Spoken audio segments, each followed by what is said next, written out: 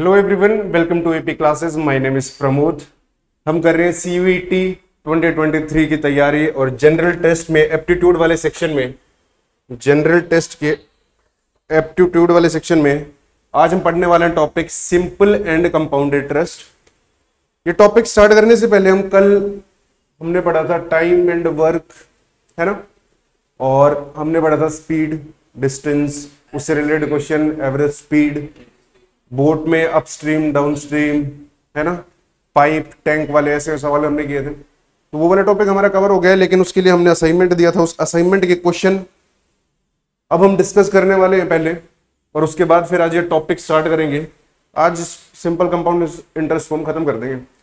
उससे पहले good morning sir good morning बेटा।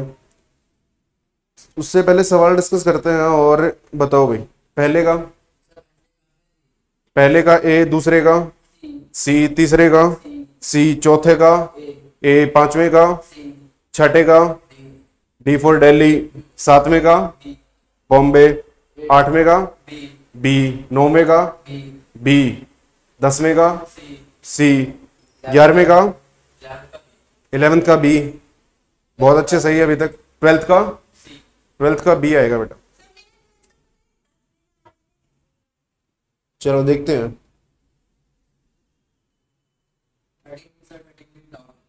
ट्वेल्थ भी डाउट है थर्टींथ भी डाउट है। ठीक है, दोनों देखते हैं। ट्वेल्थ सवाल दे रखा है a job is done by ten man in twenty days job is done by ten man job करते हैं उसको। बीस दिन में।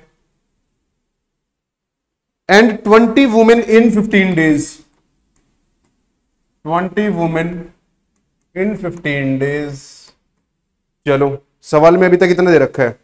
How many days will it take for five man and ten women to finish the work अब days निकालने हैं हमें।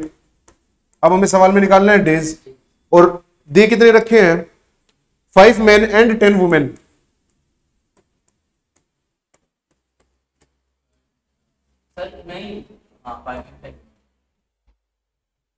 है ना? टेन मैन बीस दिन में काम करते हैं ट्वेंटी वुमेन पंद्रह दिन में काम करते हैं। अब हमें इनका कंबाइंड निकालना है। यही तो दे रखा है।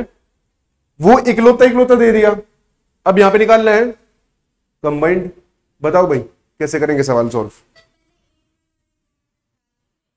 हाँ। फाइव मैन और टेन वुमेन का निकाल लेंगे डेज़ निकाल आएँगे। कैसे किया? क्या लिखा? बताओ मैं क्या लिखूं यहाँ पे? एक न, एक बार मैं नेक्स्ट क्वेश्चन को और देख लू। नेक्स्ट क्वेश्चन थर्टीन डाउट था ना? थर्टीन दे रखा है। R N S can do a job in eight and twelve days respectively if they work on alternate days with R beginning in how many days their work will be finished वो भी ऐसे ही है इस type का ही है। देख लेंगे चलो। ठीक है। हाँ भाई बताऊँ। बोलो बोलो बोलो। क्या लिखूं मैं? क्या कैसे अप्रोच करूँ? स्टार्ट कैसे करूँ क्वेश्चन को करना सॉल्व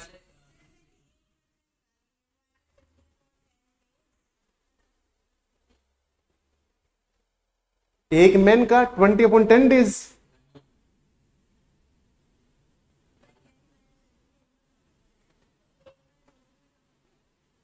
कैसे कर लेगा? अब सोचो, दस आदमी मिलके एक काम कर रहे हैं। और दस आदमी मिलके काम करने में बीस दिन का समय लग रहा है। दस आद, हमारे पास वर्कफोर्स दस की है, तब हमें बीस दिन का समय लग रहा है।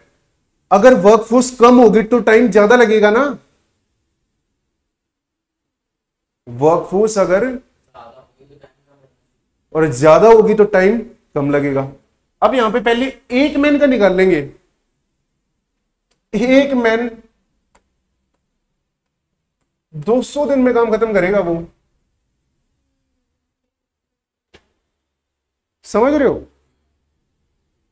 तभी तो 10 आदमियों को 20 दिन लगे हैं। ऐसी एक वुमेन कितने दिन में काम खत्म करेगी? एक वुमेन कितने दिन में काम खत्म करेगी, बताओ? 20 वुमेन 15 डेज़ में कर रही हैं। 300 में। एक वुमेन को 300 दिन लग जाएँगे काम करने के लिए। है ना? अगर ये 10 होती तो यहाँ पे 30 दिन लग जाते। अब ये बीस है तो उनको पंद्रह दिन लगे। हैं बेसिकली हमने क्या किया इनको? मल्टीप्लाई कर दिया। याद है कल क्या फॉर्मूला लिखवाया था? Work equals to N H D number of man और women into hours into days तो वर्क हम जब निकाल रहे हैं तो 20 वुमेन इंटू पंद्रह डेज़ एक वुमेन को 300 दिन लग जाएँगे वो काम करने को और एक मैन को 200 दिन लग जाएँगे। ये डेज़ है यहाँ पे, है ना? तो एक दिन में कितना काम करेंगे ये? सीधा से इसका रेसिप्रोकल हो जाता है। जितने डेज़ दिए होते हैं ना, उसका रेसिप्रोकल हो जाता है। 200 दिन में पूरा काम खत्म कर रहे हैं। तो एक दिन में उस काम का one by two hundred part करेंगे। समझ आ रहा है ये? एक दिन में one by two hundred work करेंगे वो। ऐसे ही एक आदमी एक दिन में इतना काम करता है। एक वुमेन एक दिन में इतना काम करती है। तो हमें क्या है, पाँच वुमेन पाँच मैन और दस वुमेन का निकालना है क्या? पाँच मैन और दस वुमेन का निकालना है। इनको कितना टाइम लग जाएगा? Five into one by two hundred plus ten into one by three hundred ये क्या हो गया? सर ये हो गया हमारा, पाँच आदमी और दस वुमेन एक दिन में कितना काम कर पाएँगे? समझ आ गई? तो कितना काम कर पाएँगे? One upon forty plus one upon thirty ये यही तो है देखना और इसका एलसीएम ले लेंगे तो कितना बन जाएगा ये? वन बाई ट्वेंटी एलसीएम आता होगा इसका। ठीक है? ऊपर तीस प्लस चालीस, सत्तर सत्तर ही बन जाएगा क्या? ना सात बनेगा। सेवन बाई वन ट्वेंटी यही बनेगा क्या? देखना। हाँ भाई। ये सेवन बाई वन ट्वेंटी क्या बन गया? एक, ये है पाँच मेन प्लस दस women in one day work done by five man plus ten women in one day एक दिन में ये इतना काम कर रही है। तो टोटल काम कितने दिन में खत्म होगा? इसका रेसिप्रोकल सीधा सा one twenty upon seven days में। ऑप्शन है कैसा कुछ? नहीं रुक जा। ट्वेल्थ के ऑप्शन क्या दे रखे हैं? अपॉन में सेवन किस ऑप्शन में है? यार बी में है। और बी को सेवनटीन सेवन जा। सत्रह सत्रह, एक सौ उन्नीस और प्लस एक एक सौ बीस। ये, अब इस सवाल में ऑप्शन हमें दे रखा था। ऑनलाइन वाले देख ले, इस सवाल में हमें ऑप्शन दे रखा था। कैसे दे रखा था ऑप्शन इस सवाल में एक ऑप्शन दे रखा है seventeen one upon seven days तो वही तो है ये। समझ आ रहा है भाई? आगे बढ़ते हैं अब। अगला सवाल बताओ। ठीक है। ये हो गया हमारा। अब है हमारा थर्टींथ क्वेश्चन थर्टींथ कहाँ गया? हाँ। R and S can do a job in eight and twelve days respectively R को लगते हैं आठ दिन एस को लगते हैं ट्वेल्व डेज़ इतना दे रखा है सवाल, में अभी तक ये समझ आया। If they work on alternate days with R beginning in how many days the work will be finished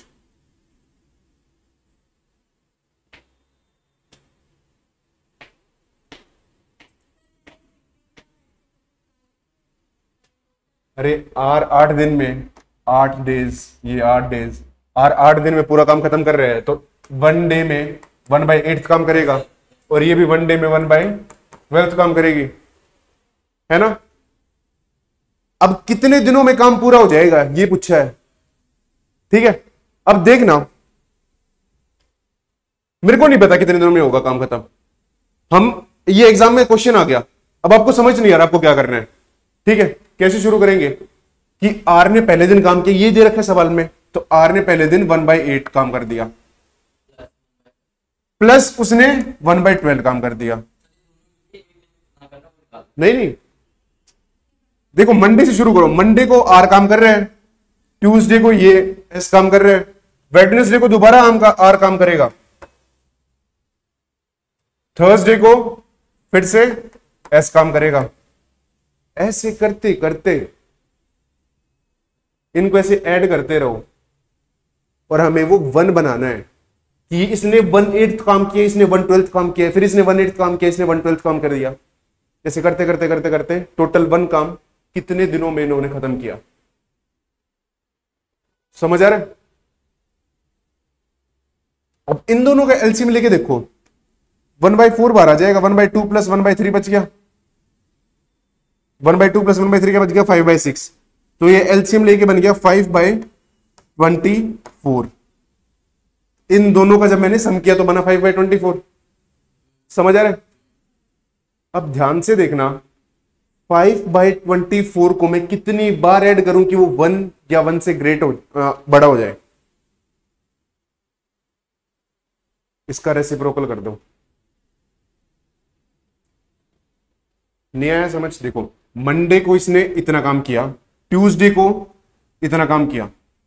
मैं से कह दूँ कि हमें एक वॉल बिल्ड करनी है और एक दिन तो ईंट लगाने वाला आएगा और एक दिन सीमेंट लगाने वाला आएगा कुछ। ठीक है? दोनों वो अल्टरनेटिव आएँगे, उन दोनों की लड़ाई हो रखी आपस में। ठीक है? तो एक दिन ईंट लगाने वाला आया, उसने वन एट काम कर दिया। हम तो टोटल काम देखेंगे ना टोटल हमारा जो नेट काम है, उसका कितना पार्ट उसने कर दिया। ठीक है? उसने वन एट काम कर दिया। अब अगले दिन आया, उसने वन ट्वेल्थ काम कर दिया हमारा। तो हमारा टोटल काम कितना हो गया दो दिनों में? दो दिनों में इन दोनों को जब ऐड किया तो दो दिनों में हमारा टोटल काम five by twenty four part हो गया। ऐसे ही अगले दो दिनों में दोबारा five by twenty four part हो जाएगा। और इन दो प्लस दो चार दिनों में मिला के हमारा इन दोनों को ऐड करेंगे तो ten by twenty fourth part हो गया in four days four days में इतना काम हो गया? समझ आ रही है? फोर डेज़ में इतना काम हो गया? ऐसे ही इन फोर फोर का एक और ऐसे कॉम्बिनेशन ले लेता मैं तो हमारा ट्वेंटी अपॉन ट्वेंटी फोर इतना काम हो जाता एट डेज़ में। समझ गए? अब हमारा काम कितना बच गया? आठ दिन खत्म हो गए। आठ दिन के बाद अब नंबर किसका आएगा? अगला नंबर आर का आएगा, रामू का, जो वन एट काम कर रहा है। तो ट्वेंटी अपॉन ट्वेंटी फोर्थ हमारा काम हो गया बेसिकली इसको काट देंगे तो फाइव बाई सिक्स हमारा वर्क डन हो गया। फाइव बाई सिक्स वर्क हमारा डन हो गया। कितने दिनों में? आठ डेज़ में। फाइव बाई सिक्स वर्क आठ दिनों में ये डन हो गया हमारा। समझ आ गया ये? अब बच कितना गया? वन बाई सिक्स बच गया। बट आर तो one by twelve one by eight ही कर रहा होगा। वन बाई एट छोटा होता है वन बाई सिक्स से। अरे डिनोमिनेटर में बड़ा नंबर आ गया तो वो छोटा हो गया ना। तो नौवे दिन भी हमारा काम खत्म नहीं होगा। नौवे दिन टोटल कितना काम हो जाएगा हमारा? नौ दिन तक। अप टू नाइन डेज़ हमारा कितना काम हो जाएगा? सर हमारा हो जाएगा five by six plus one by eight इनका एलसीएम लेके सॉल्व करके बताओ, कितना हो जाएगा ये? आठ से अड़तालीस, चौबीस एलसीएम आ गया। तो चौबीस को जब से ऐसे करा चार, पाँच चौक बीस, तीन। सर, हमारा twenty three upon twenty fourth इतना काम हो गया है। वन अपॉन ट्वेंटी फोर्थ काम हमारा बचा हुआ है अभी। और ये काम कितने दिनों में हो गया है? यहाँ पे हम पहुँच गए हैं सर नाइन्थ डे में। नौ दिन में हमारा इतना काम हो गया अब टेंथ डे में टेंथ डे में काम बचा है इतना वन बाई ट्वेंटी फोर और पर ये तो वन बाई ट्वेल्व काम कर देगा। सो so बेसिकली हमें आधा दिन ही लगेगा नाइन एंड हाफ़ डेज़ लगेगा। ऑप्शन है क्या कोई? बस फिर। खत्म हो गया। समझ आया? बिल्कुल आसानी से हमने पहले दो दिन का देखा। अच्छा इतना काम हो रहा है, फिर चार दिन का देख लिया, फिर आठ दिन का देख लिया। आठ के बाद नौवें दिन पे गए, फिर भी वन बाय ट्वेंटी फोर्थ काम बच गया था। और ये वन बाय ट्वेल्थ काम कर रहे हैं तो दसवें दिन में इसको आधा ही दिन लगेगा काम करने के लिए। ठीक है? बिल्कुल बेसिक से, कुछ भी ऐसे कुछ मुश्किल नहीं था। आगे बताओ भाई। फोर्टींथ का बी फिफ्टींथ का बी बॉम्बे सिक्सटींथ का? क्या? बी बॉम्बे बी है तो बॉम्बे डी फॉर दिल्ली ठीक है? ताकि बी और डी में कंफ्यूजन ना हो.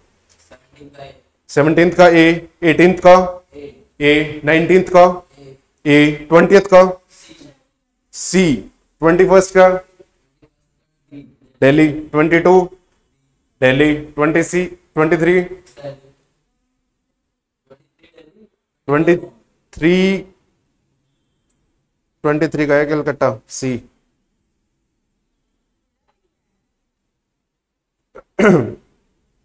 यार, ऐसे तो सवाल करवाए थे। If two pipe operate simultaneously a tank will be full in 12 hour चलो, अभी तक सवाल में मेरे को इतना समझ आया, दो पाइप दे रखी हैं, और 12 आवर में फुल टैंक हो जाएगा। दोनों पाइप सेम टाइम अगर ऑपरेट कर रही हो। If one pipe takes ten hour less than the other how much time the other take to fill the tank रे? कोई फॉर्मूला था क्या? देखो, एक पाइप ए है, एक पाइप बी है। ठीक है? और दे क्या रखा है? One pipe take ten hour less than the other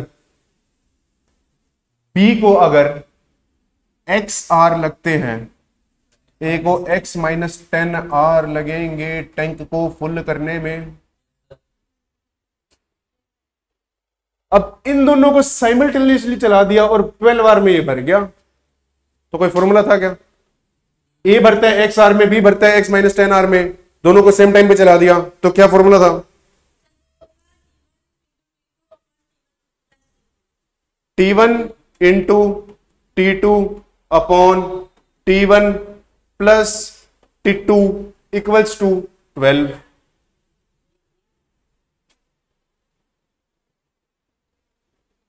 हो गया भाई?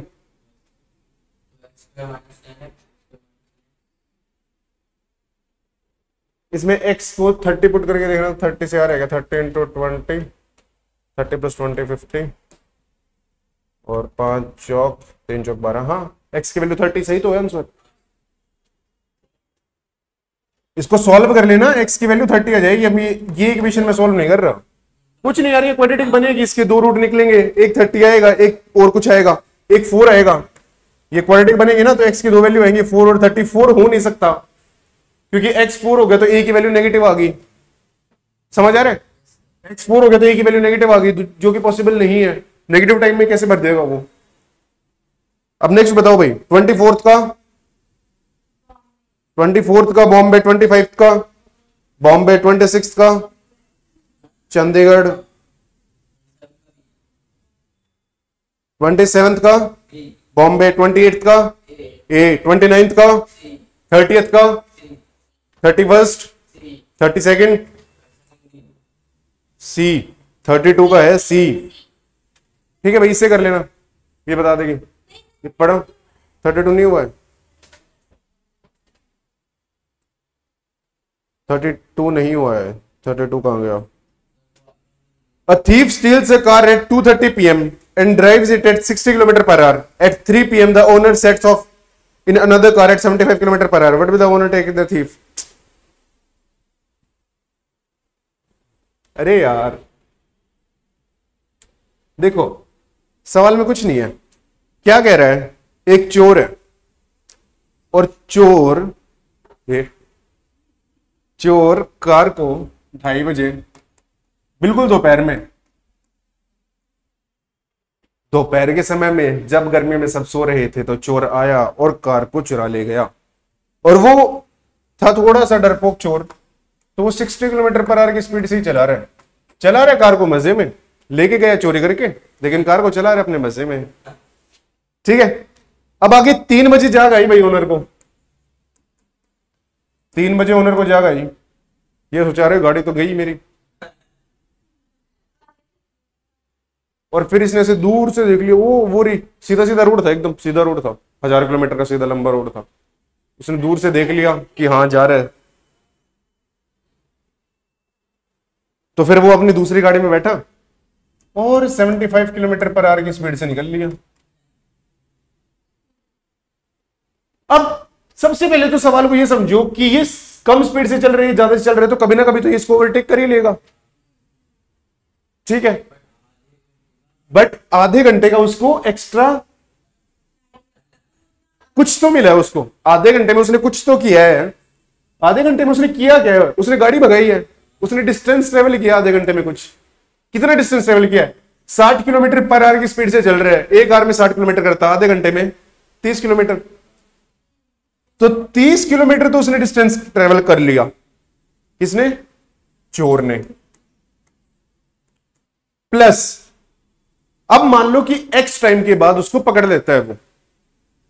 बाद में अपन जो कितने बजे वो तो अपन निकाल लेंगे, पहले टाइम तो निकाल लें। ठीक है? घड़ी में कितने बजे रहेंगे, वो सब तो अपन निकाल लेंगे। तो 30 किलोमीटर के बाद इस टाइम कितने बज गए? इस टाइम तीन बज गए अब। तीन बजे का सीनेरियो देख रहे हैं हम। तीन बजे के बाद एक्स टाइम में चोर ने इतना डिस्टेंस ट्रेवल कर लिया।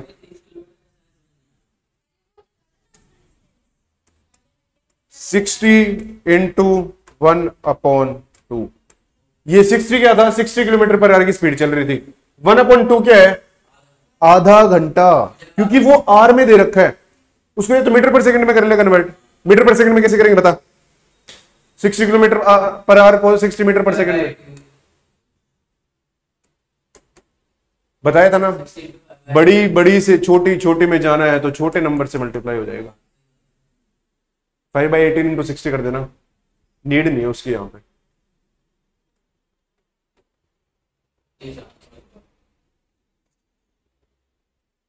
तो आधे घंटे में ये इतना समझ आई गया।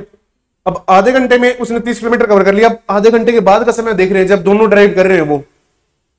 तो ये तो चलेगा आधे घंटे उसके बाद एक्स एक्स मिनट के बाद उसने पकड़ लिया। हम ये मान रहे हैं तो एक्स मिनट में इसने तो सिक्सटी प्लस एक्स का डिस्टेंस ट्रेवल कर लिया। और इसने तीस का भी डिस्टेंस ट्रेवल किया हुआ था ऑलरेडी और ये किसके इक्वल होगा? सेवेंटी फाइव इंटू एक्स के इक्वल कि किसी पॉइंट से, अरे ये मान लो ये उनका घर था। इस घर से निकला चोर। तो यहाँ पे है चोर। मैं चोर हूँ। यहाँ पे फिर है ऑनर ठीक है? तीन बजे का समय दे रखा है अब। तीन बजे ये सिनेरियो है। तो अब ये भी चलेगा सेवेंटी फाइव से, और ये चल ही रहा है सिक्सटी से, और इन दोनों के बीच का डिस्टेंस दे रखा है ये तीस। तो ये कब, किस पॉइंट पे जाके यहाँ पे दोनों का भरत मिलाप होगा? किस पॉइंट पे जाके होगा? ये निकालना है बस। ये सीधी इक्वेशन बन गई बेसिकली 15x ये उस साइड जाके माइनस हो जाएगा। 15x x equals to thirty x की वैल्यू आ गई टू आवर्स तो तीन बजे के बाद दो घंटे में उसको वो पकड़ पाएगा। तो दो घंटे में, देख लो भाई अब। तीन के बाद, तीन में दो घंटे ऐड करने के बाद कितने बजे होंगे?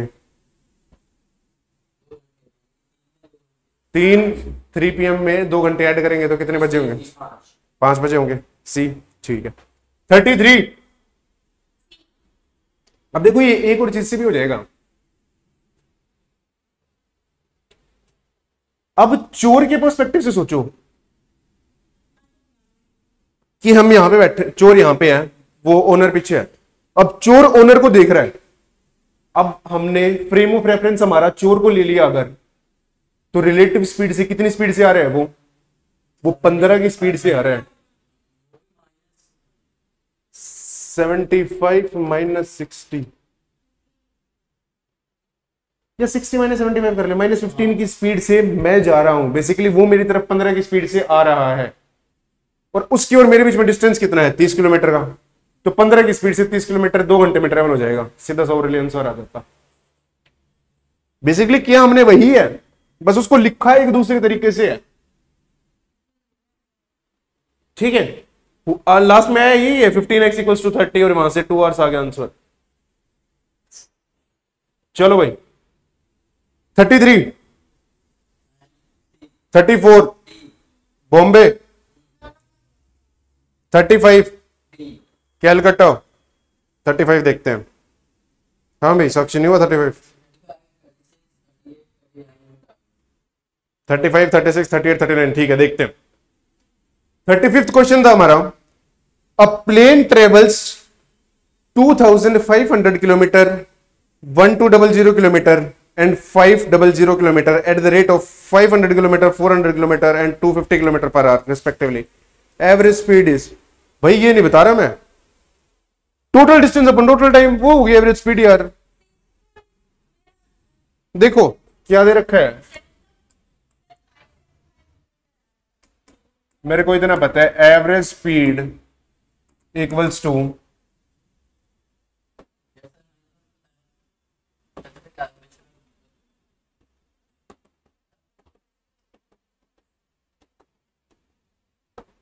average speed equals to total distance upon total time taken ठीक है? अब डिस्टेंस देख लेते हैं भाई, कितना कितना है इसमें? क्वेश्चन में डिस्टेंस कितना कितना दिया हुआ है? पच्चीस सौ, बारह सौ और पाँच सौ। अब ये प्लस माइनस तो हो जाने चाहिए यार।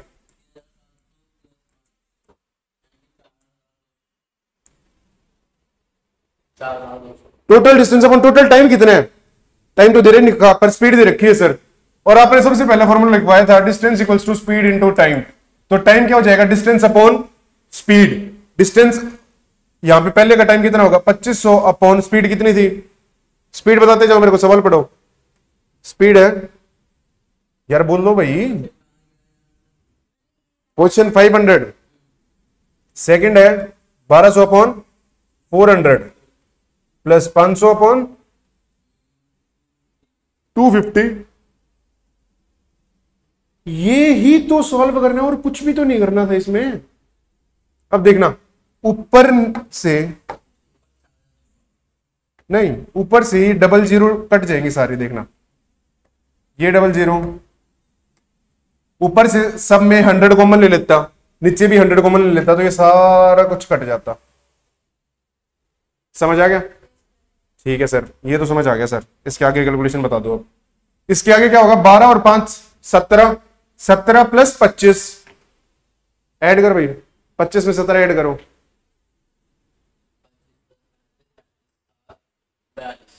फोर्टी टू तो ऊपर तो आ गया फोर्टी टू नीचे? नीचे यार, पहले काट लो ना, फिर एलसीएम ले लेना। पाँच एकम ये तो आ गया वन बाई फिफ्टी ये आ गया थ्री बाई हंड्रेड चार तीय बारह थ्री बाई हंड्रेड आ गया। और ये वन बाई ट्वेंटी आ गया। तो नीचे क्या बचिए one by twenty three by hundred and one by fifty तो ट्वेंटी हंड्रेड और फिफ्टी का एलसीएम ट्वेंटी हंड्रेड और फिफ्टी का एलसीएम हंड्रेड हो जाएगा सर तो यहाँ पे आ जाएगा five plus three plus two और ये हंड्रेड ऊपर चला जाएगा। Five plus three plus two calculation ही कर रहा हूँ और कुछ नहीं कर रहा। पाँच तीन आठ और दो दस। दस से दस कट गया। और फोर ट्वेंटी एल्स हमारा आंसर आ गया।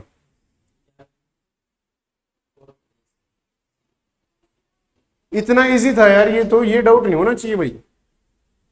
है ना ये बेसिक कैलकुलेशन ही करो। कुछ भी नहीं था इसमें तो। ऐसे नहीं। रे एग्ज़ाम में क्या करके आएगा? एग्ज़ाम में ये ये, ये थोड़ी बोलेगा, सर, मैंने डी भी कर दिया, मैंने सी भी कर दिया, सर। जो होगा देखी जाएगी, जय माता दी।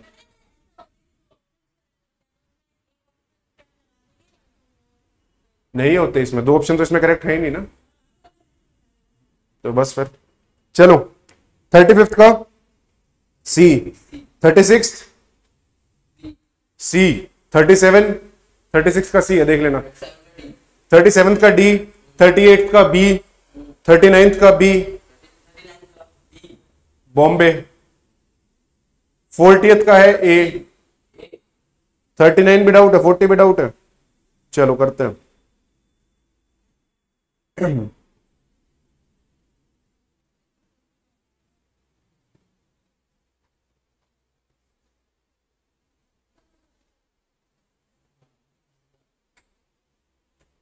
थर्टी नाइन्थ भी डाउट एंड फोर्टियथ भी है। थर्टी नाइन्थ हमें क्वेश्चन दे रखा है। क्वेश्चन नंबर थर्टी नाइन पढ़ो a train 110 metre long is moving at 132 kilometre per hour how long will it take to cross a platform 165 metre long इसमें क्या doubt है? देखो 132 किलोमीटर पर आवर है। इसको पहले तो मीटर पर सेकंड में कर लो। क्यों सर क्योंकि इसमें दे क्या रखा है? इसमें दे रखा है कि ये एक ट्रेन है। और ट्रेन की इसने लेंथ दे दी 110 मीटर। ये भी मीटर में दे दिया। अब ये ट्रेन ऐसे चल रही है और यहाँ पे एक प्लेटफॉर्म है। प्लेटफॉर्म कितना है? प्लेटफॉर्म है, सर, प्लेटफॉर्म है 165 मीटर लॉन्ग तो बेसिकली ट्रेन का जब फ़र्स्ट पॉइंट यहाँ से स्टार्ट होगा तो वो कितना डिस्टेंस ट्रेवल करेगा? एक सौ पैंसठ मीटर तो ये करेगा। प्लस 110 मीटर ये भी तो करेगा। क्योंकि ट्रेन पूरी प्लेटफॉर्म को कब क्रॉस कर चुकी होगी? उस सिनेरियो में ट्रेन हमें कुछ ऐसे दिख रही होगी। मान लो ये ट्रेन है। ठीक है? मैं हूँ ट्रेन। ये ट्रेन ऐसे दिख रही होगी हमें। तो ट्रेन ने डिस्टेंस कितना ट्रेवल किया? इसके फ़र्स्ट किसी भी एक पॉइंट को देख ले। ट्रेन का हर एक पॉइंट कंटिन्यूएशन में सेम डिस्टेंस ट्रेवल करेगा। एक दूसरे से जुड़ा हुआ है। तो इसका फ़र्स्ट पॉइंट देख लेंगे फ़र्स्ट पॉइंट ने कितना डिस्टेंस ट्रेवल किया? सर फ़र्स्ट ने एक सौ पैंसठ मीटर तो यहाँ पे कवर कर दिया सर और 110 मीटर ये भी कवर कर दिया सर तभी ट्रेन पूरी पार हुई है। तो distance travel is equals to 165 plus 110 275 metre.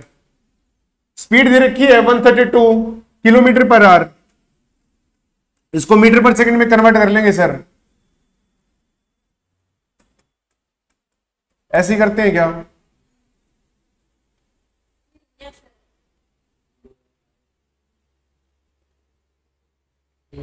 ठीक है?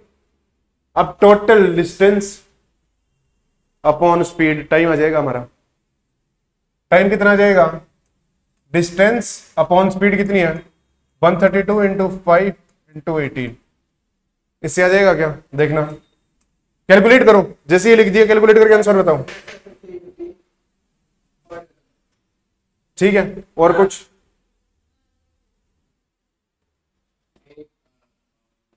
थ्री से एक बार काट के देखते हैं। थ्री सिक्स जा। और अब टू से और कट जाएगा ये। टू थ्री जा। Twenty two. और कुछ आ रहा है क्या? और तो कुछ नहीं कट रहा। Forty five into three upon twenty two कोई ऑप्शन है क्या? आ, कौन सा था ये क्वेश्चन नंबर कौन सा था?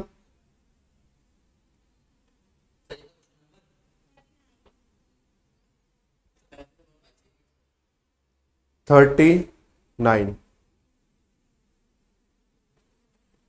कहा गया? थर्टी। यार तो क्वेश्चन नहीं मिल रहा।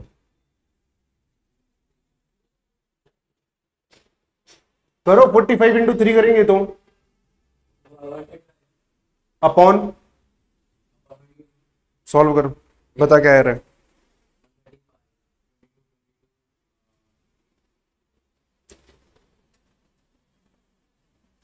यार 135 थर्टी फाइव अपॉन में 22 करना है। दो से काट ले एक बार तो दो ग्यारह और दो छ दो सत चौदह। नहीं सिक्स तो नहीं आएगा।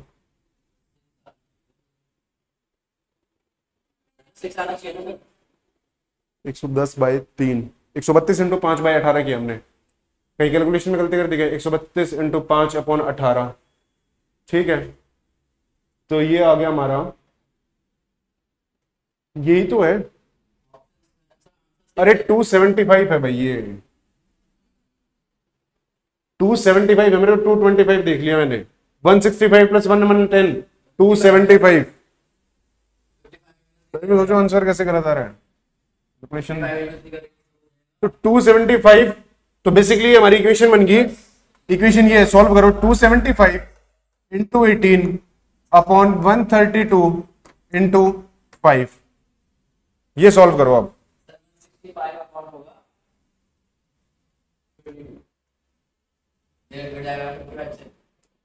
ये 55 से कट गया। सिक्स थ्री जा और six two twenty two eleven two जा इलेवन फाइव जा। पाँच थी पंद्रह पौन दो। सात पॉइंट पाँच। समझ आ गया भाई? ठीक है। नेक्स्ट आगे बढ़ते हैं।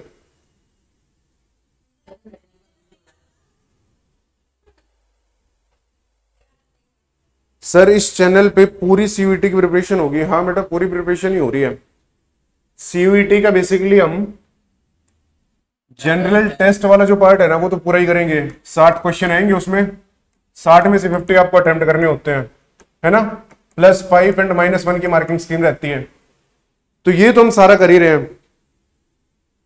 उसके बाद हम मैथमेटिक्स का जो सेक्शन है, सिर्फ़ कोर मैथ्स जो हो गया अप्लाइड मैथ्स नहीं, सिर्फ़ मैथ्स की बात कर रहा हूँ। वो वाला सारा सेक्शन हम कवर कर रहे हैं। ठीक है? और आपको अगर कंटेंट भी चाहिए, इसका जो हम शीट अभी डिस्कस कर रहे हैं, वो शीट भी चाहिए आपको तो आप टेलीग्राम पे जुड़ जाए। नीचे लिंक दिया होगा टेलीग्राम का, है ना? वहाँ पे आप मैसेज कर दें, आपको शीट वगैरह ये सब हम प्रोवाइड कर देंगे। ठीक है? क्या? हाँ ऑफलाइन भी हम चल रहे हैं। ऑफलाइन सेंटर है हमारा शालीमार बाग में, और एड्रेस है B K one B K one block और फिफ्टी एट नंबर शॉप है। ए पी क्लासेस ये हमारा शालीमार बाग दिल्ली में है, जिसका पिन कोड होगा double one double zero double eight ठीक है? दिस और शालीमार बाग। शालीमार बाग। सो यहाँ पे हम ऑफलाइन भी पढ़ा रहे हैं, अभी हमारे पास बच्चे बैठे हुए हैं ऑफलाइन में। अगर आपको ऑफलाइन ज्वाइन करना है तो बेटा ऑफलाइन आ जाना। ठीक है? लेकिन जैसे भी पढ़ो, तैयारी स्टार्ट कर दो लेट चल रहे हो आप, है ना? लेट चल रहे हो आप। क्योंकि एग्ज़ाम एक महीना भी नहीं बचा अभी तो। देखा जाए तो ट्वेंटी फ़र्स्ट मई को तो है ही एग्ज़ाम तो लगभग लगभग एक ही महीना हमारे पास। पंद्रह तक हम सिलेबस कंप्लीट कर देना है। ना? ठीक है। फटाफट करो भाई लेट चल रहे हैं आज हम थोड़ा सा। फोर्टी क्वेश्चन हो गया। फोर्टी का ए फोर्टी वन का डी फोर्टी टू का बॉम्बे फोर्टी थ्री का कैलकाटा सी फोर्टी फोर का डी दिल्ली फोर्टी फाइव का डी दिल्ली फोर्टी सिक्स का बी बॉम्बे फोर्टी सेवन का ए। आता नहीं है हुआ ही नहीं है क्या किया नहीं है। आंसर लिख लो सॉल्व कर लेना कल डाउट अपन डिस्कस कर लेंगे। ठीक है? फोर्टी सेवन ए ज़्यादा नहीं हुआ ये ये पचास क्वेश्चन ज़्यादा नहीं है। हाँ तो फिर कोई बात नहीं ना। Forty seven A, forty eight B Bombay, forty ninth A Agra fiftieth का ए आगरा, फिफ्टी वन का ए आगरा, फिफ्टी टू का सी कैलकाटा, फिफ्टी थ्री का B Bombay, and fifty four का सी कैलकाटा। चलो भाई, हमारा इतना तो हो गया अभी। थैंक यू सर कर दिया स्टार्ट अच्छा। ठीक है नाइस बेटा। प्रिपरेशन शुरू कर दो अभी लेट चल रहे हैं हम, है ना? चलो भाई, आज हम टॉपिक पढ़ने वाले हैं सिंपल एंड कंपाउंड इंटरेस्ट बहुत ही सिंपल सा टॉपिक है, लेकिन सवाल बनते हैं इसमें। एक या दो क्वेश्चन इससे बन जाते हैं। और ये हमने छोटी कक्षाओं में पढ़ा भी हुआ है, और उसी टाइप के क्वेश्चन आएँगे। और कक्षा के दौरान हम फ़ोन नहीं चलाएँगे। ठीक है? चलो। कुछ पता है क्या? सिंपल इंटरेस्ट क्या होता है? या फिर जिसको लोकल देसी, ऐसे लोकल लैंग्वेज में क्या देते हैं? ब्याज। है ना? ऐसे ब्याज, ऐसे पूछते हैं कि मार्केट में क्या ब्याज चल रहे हैं या क्या रेट चल रहा है उधार लेने पे? लोन वालों के कॉल आते रहते हैं। तो वो कुछ कुछ टर्म यूज़ करते हैं। वो टर्म यूज़ करते हैं कि यार मार्केट जो हिंदी भाषा में हमारे लोकल लैंग्वेज में जो बाज़ार में ये टर्म होती है कि दो रुपए सैकड़ा सैकड़ा मतलब हंड्रेड रुपीज़ दो रुपए सैकड़ा ब्याज चल रहा है, या फिर डेढ़ रुपए सैकड़ा क्या समझ में आता अब आ जाएगा समझ में, मैं बता रहा हूँ जनरली इसका डेली लाइफ में यूज़ हमें पता चल गया क्या होता है। नहीं नहीं। कि वो ऐसे जनरली जब पूछते हैं ना तो ऐसे होता है कि डेढ़ रुपए सैकड़ा ब्याज चल रहा है भाई मार्केट में, दो रुपए सैकड़ा, एक रुपए सैकड़ा। अरे भाई सब बताऊँगा, रुक जाओ एक बार, सुन लो पहले, है ना? तो डेली इसका यूज़ ऐसे होता है कि मार्केट में ये होता है कि किसी से हम पैसे ऐसे उधार लेने जाते हैं तब, है ना? इसका मीनिंग क्या है दो रुपए सैकड़ा का? ये two rupees per hundred rupees हर महीने for every hundred rupee you borrowed you have to pay a interest of two rupees समझ आ रहा है? कि मैंने आपको, आप कह रहे हो कि सर मेरे को है ना पैसे की ज़रूरत है और मेरे को हज़ार रुपए दे दो आप। तो मैंने आपको हज़ार रुपए दिए। कितने थाउज़ेंड रुपीज़ मैंने आपको दिए? ठीक है। अब मैं कह रहा हूँ कि दो रुपए सैकड़ा का ब्याज देना पड़ेगा भाई आपको। तो इसका मतलब समझना, आप मेरे को तीन महीने बाद ये वापस कर रहे हो पैसे। थ्री मंथ्स के बाद। तो पर हंड्रेड रुपये आपको दो रुपए देने थे। पर आपने लिए कितने? मेरे से थाउज़ेंड तो आपको देने कितने हैं?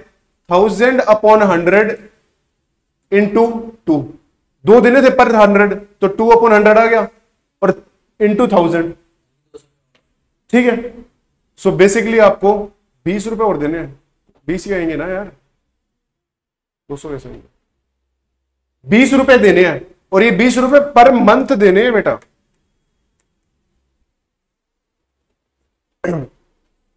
तो बीस रुपए पहले महीने, बीस रुपए अगले महीने, बीस रुपए उससे अगले महीने तो आपको तीन महीने बाद मेरे को हज़ार तो देने ही होंगे वापस।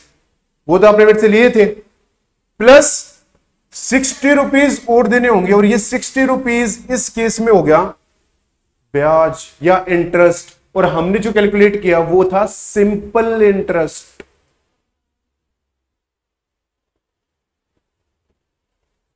ये हमारा था सिंपल इंटरेस्ट क्यों? क्योंकि पहले महीने के बाद आपको देने थे वन थाउज़ेंड प्लस ट्वेंटी एक हज़ार बीस रुपए। अब नेक्स्ट मंथ मैंने बीस ही रुपए का इंटरेस्ट जोड़ा है। वन थाउज़ेंड और प्रिंसिपल अमाउंट थाउज़ेंड ही रखी है। मैंने उसको वन थाउज़ेंड बीस नहीं दिया, जिसको देसी भाषा में बोलते हैं, ब्याज पर ब्याज। मार्केट में ऐसे जाते हैं ना तो वो कहते हैं कि ब्याज पे भी ब्याज लगेगा भाई। तो उस कम ब्याज पे ब्याज लगने का मतलब है कंपाउंड इंटरेस्ट समझ आ रहे उसको बोलते हैं कंपाउंड इंटरेस्ट।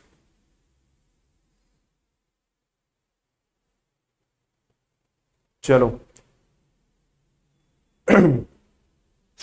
ये तो आ गया भाई, हमें समझ। जो भी था।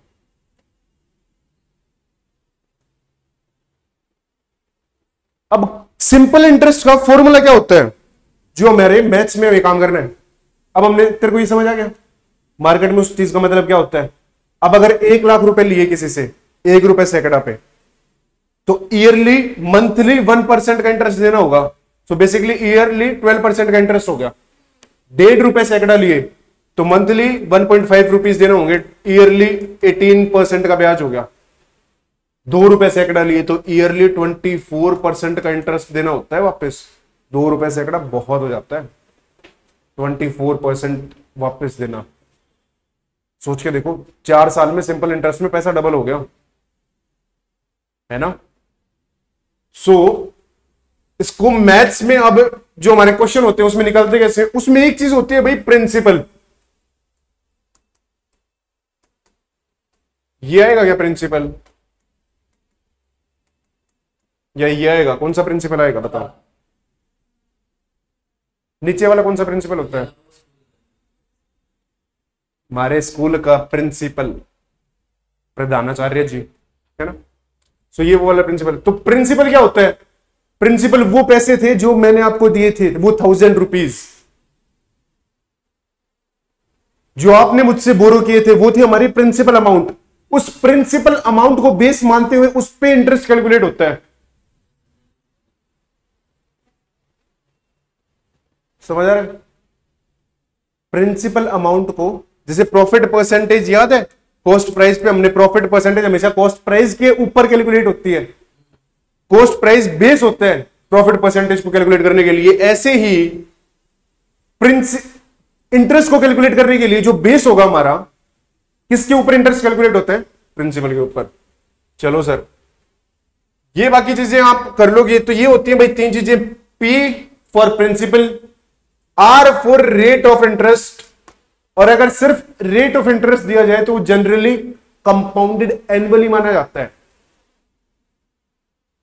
कंपाउंडेड भी नहीं इनफैक्ट सिर्फ़ एनुअली माना जाएगा कि वो एनुअली दिया हुआ है अनटिल अनलेस स्पेसिफाई किया गया हो कि हम ये इंटरेस्ट रेट मंथली लगा रहे हैं, या सिक्स मंथ्स के लिए लगा रहे हैं, या क्वार्टरली लगा रहे हैं। समझ आ गया? Principal into rate of interest into time और रेट ऑफ़ इंटरेस्ट होगा परसेंटेज में तो अपॉन हंड्रेड ये हमारा फॉर्मूला हो जाता है सिंपल इंटरेस्ट का।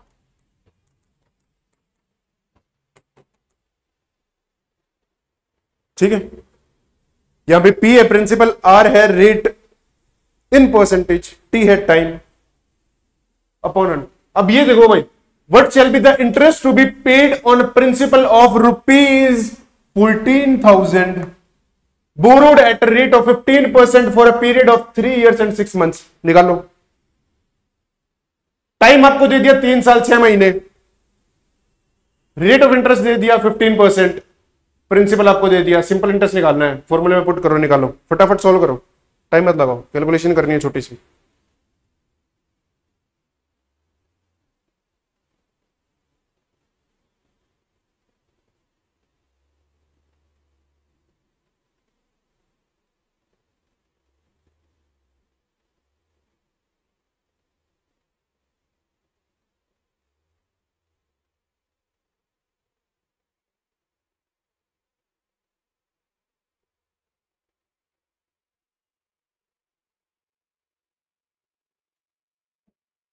बताओ बताओ बताओ, क्या होगा answer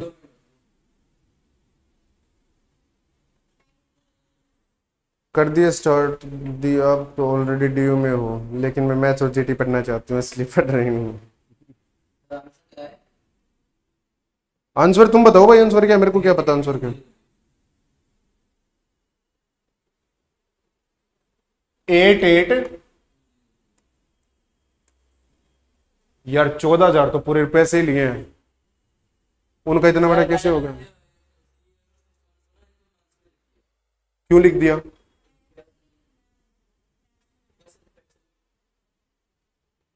Three and half year three point five years अरे मंथ्स में लिख देगा तो ये रेट ऑफ़ इंटरेस्ट तो एनुअली दिया हुआ है ना?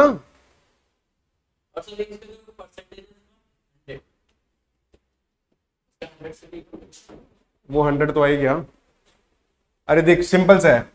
प्रिंसिपल है सर, चौदह हज़ार रुपए।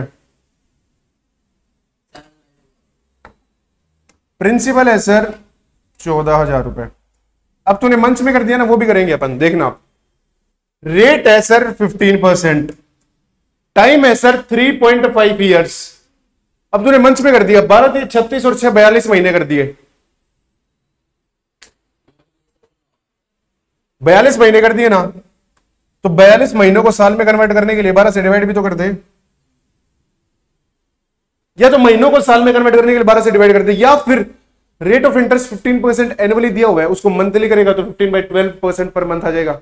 या तो यहाँ से कर दे या यहाँ से कर दे की बात है। अपॉन हंड्रेड बस, हो गया। छह दोनों बारह, छह सतह बयालीस। ये थ्री पॉइंट फाइव है in fact seven by two है ना? दो ज़ीरो से दो ज़ीरो कट गए इसको काट देगा ये आ गया सेवेंटी पंद्रह सत्ते, एक सौ पाँच। एक सौ पाँच इंटू सत्तर करो। ये बच गया हमारा।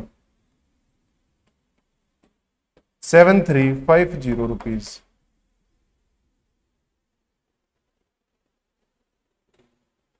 ये बेसिक कैलकुलेशन गलत कर रहे हो तो फिर वही बात नहीं बनेगी अपनी।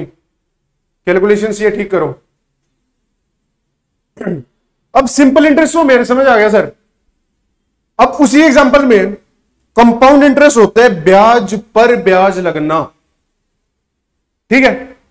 जो मैं कहूँ इंटरेस्ट पर भी और इंटरेस्ट लगेगा। और जो बैंक लोन देता है, वो हमेशा कंपाउंड इंटरेस्ट पर ही कैलकुलेट किया जाता है, वो कंपाउंड इंटरेस्ट पे ही लोन या पैसे देता है, या बैंक में जो पैसे जमा कराए जाते हैं, वो कंपाउंड इंटरेस्ट पे ही उन पे हमें कंपाउंड इंटरेस्ट मिलता है बेसिकली तो बैंक का कहीं भी आ जाए, वहाँ पे हमें कंपाउंड इंटरेस्ट कैलकुलेट करना होगा. अनटिल और अनलेस स्पेसिफाइड हो सिंपल इंटरेस्ट का. कर लोगे? ठीक है. तो कैसे करेंगे? कंपाउंड इंटरेस्ट कैसे होता है? अब मैंने हज़ार रुपए दिए थे साक्षी को. तीन महीने के लिए दिए थे. तीन महीने का टाइम पीरियड था। ठीक है? और इंटरेस्ट मैंने कह दिया कि यार, दो रुपए सैकड़ा लगेगा। मतलब for per hundred rupees you have to pay me two rupees interest अब ये पहले तो मैं सिंपल इंटरेस्ट पे दिए थे। अब मैं कह दूँ, भाई, ब्याज पे ब्याज लगेगा, देख लेना। तो आप कह रहे हो, ठीक है, सर। इसका मतलब मैंने कंपाउंड इंटरेस्ट पर पैसे दिए हैं। ब्याज पर ब्याज लगेगी मंथली ये मंथली दिया हुआ है। ठीक है? अब एक महीने बाद क्या सिनेरियो होगा? हज़ार रुपए तो साक्षी को जो मैंने दिए थे वो देगी साक्षी प्लस इस पे बीस परसेंट लगना बीस परसेंट कह रहा हूँ। इस पे दो परसेंट, दो रुपए फोर हंड्रेड इस पे दो परसेंट का ब्याज और लगेगा एक मंथ में ही। तो एक मंथ के बाद क्या सिचुएशन हुई? आफ्टर वन मंथ क्या सिचुएशन हुई? Thousand plus for every hundred rupees have to pay me two रुपी तो फिर थाउज़ेंड के लिए कितना पे करना होगा? कितने? Two into twenty so basically one month के बाद इसको मेरे को इतना रुपए पे करने हैं। अब जो नेक्स्ट मंथ का ब्याज होगा ना कैलकुलेट वो इसके ऊपर कैलकुलेट होगा, ना कि इसके ऊपर।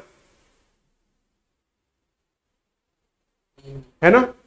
She owes me thousand rupees at starting after one month she owe me thousand and twenty rupee है ना? एक महीने बाद आपको इतने पैसे मेरे को देने थे वापस। आपने दिए नहीं। तो अगले महीने का जो ब्याज कैलकुलेट होगा, वो इस अमाउंट पे कैलकुलेट होगा। समझ आ रहा है? अगले महीने का ब्याज इस अमाउंट पे कैलकुलेट होगा। थाउज़ेंड पे कैलकुलेट नहीं होगा। अब next month after two month आपको एक महीने के बाद तो हज़ार बीस देने ही थे। प्लस दो रुपए सैकड़ा के हिसाब से two rupee per hundred rupee you have to pay interest on principal principal is this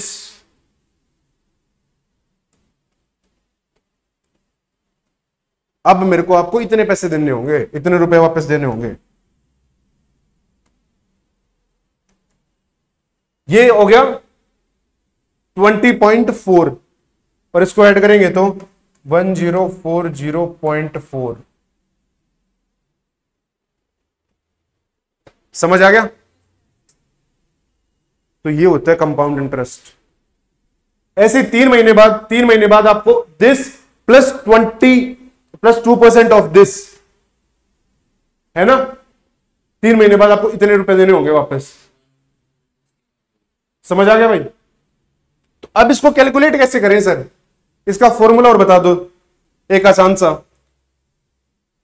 इसका फॉर्मूला क्या होगा? एक आसान सा फॉर्मूला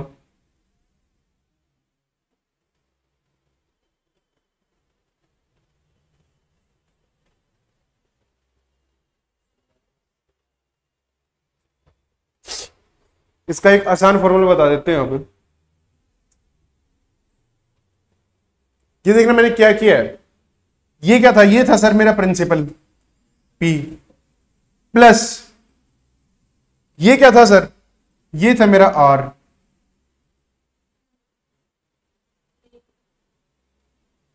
ये क्या था सर ये वापस मेरा पी था. और और सर इसके सिवाय तो कुछ था ही नहीं सर है ना? इसके सिवाय टाइम भी है ना? ये आर इंटू टी भी तो है, एक महीने का. तो ये फॉर्मूला बन जाएगा P into one plus R by hundred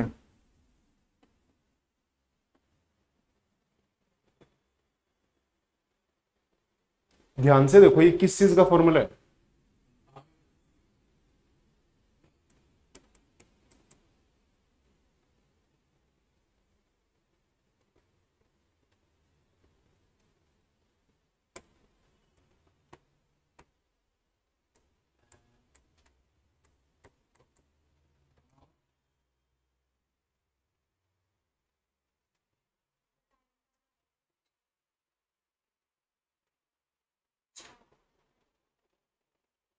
देखना अमाउंट जो होगी ना, वो बन जाएगी principal into one plus R by hundred raise to power T sir ये फॉर्मूला हमने पहले कहीं पढ़ा हुआ है।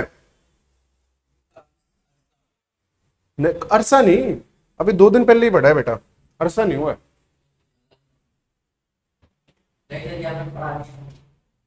देखना, ध्यान से देखना। कॉस्ट प्राइस या फिर सेलिंग प्राइस किसके इक्वल होती थी? Cost price into one plus profit percent one plus profit percent upon hundred यही तो होती थी। है ना? बेसिकली इसका मतलब क्या होता था कि जो जिस प्राइस में हम बेच रहे हैं, वो जिस प्राइस वो कौन सी प्राइस है? किस प्राइस में हम बेच रहे हैं?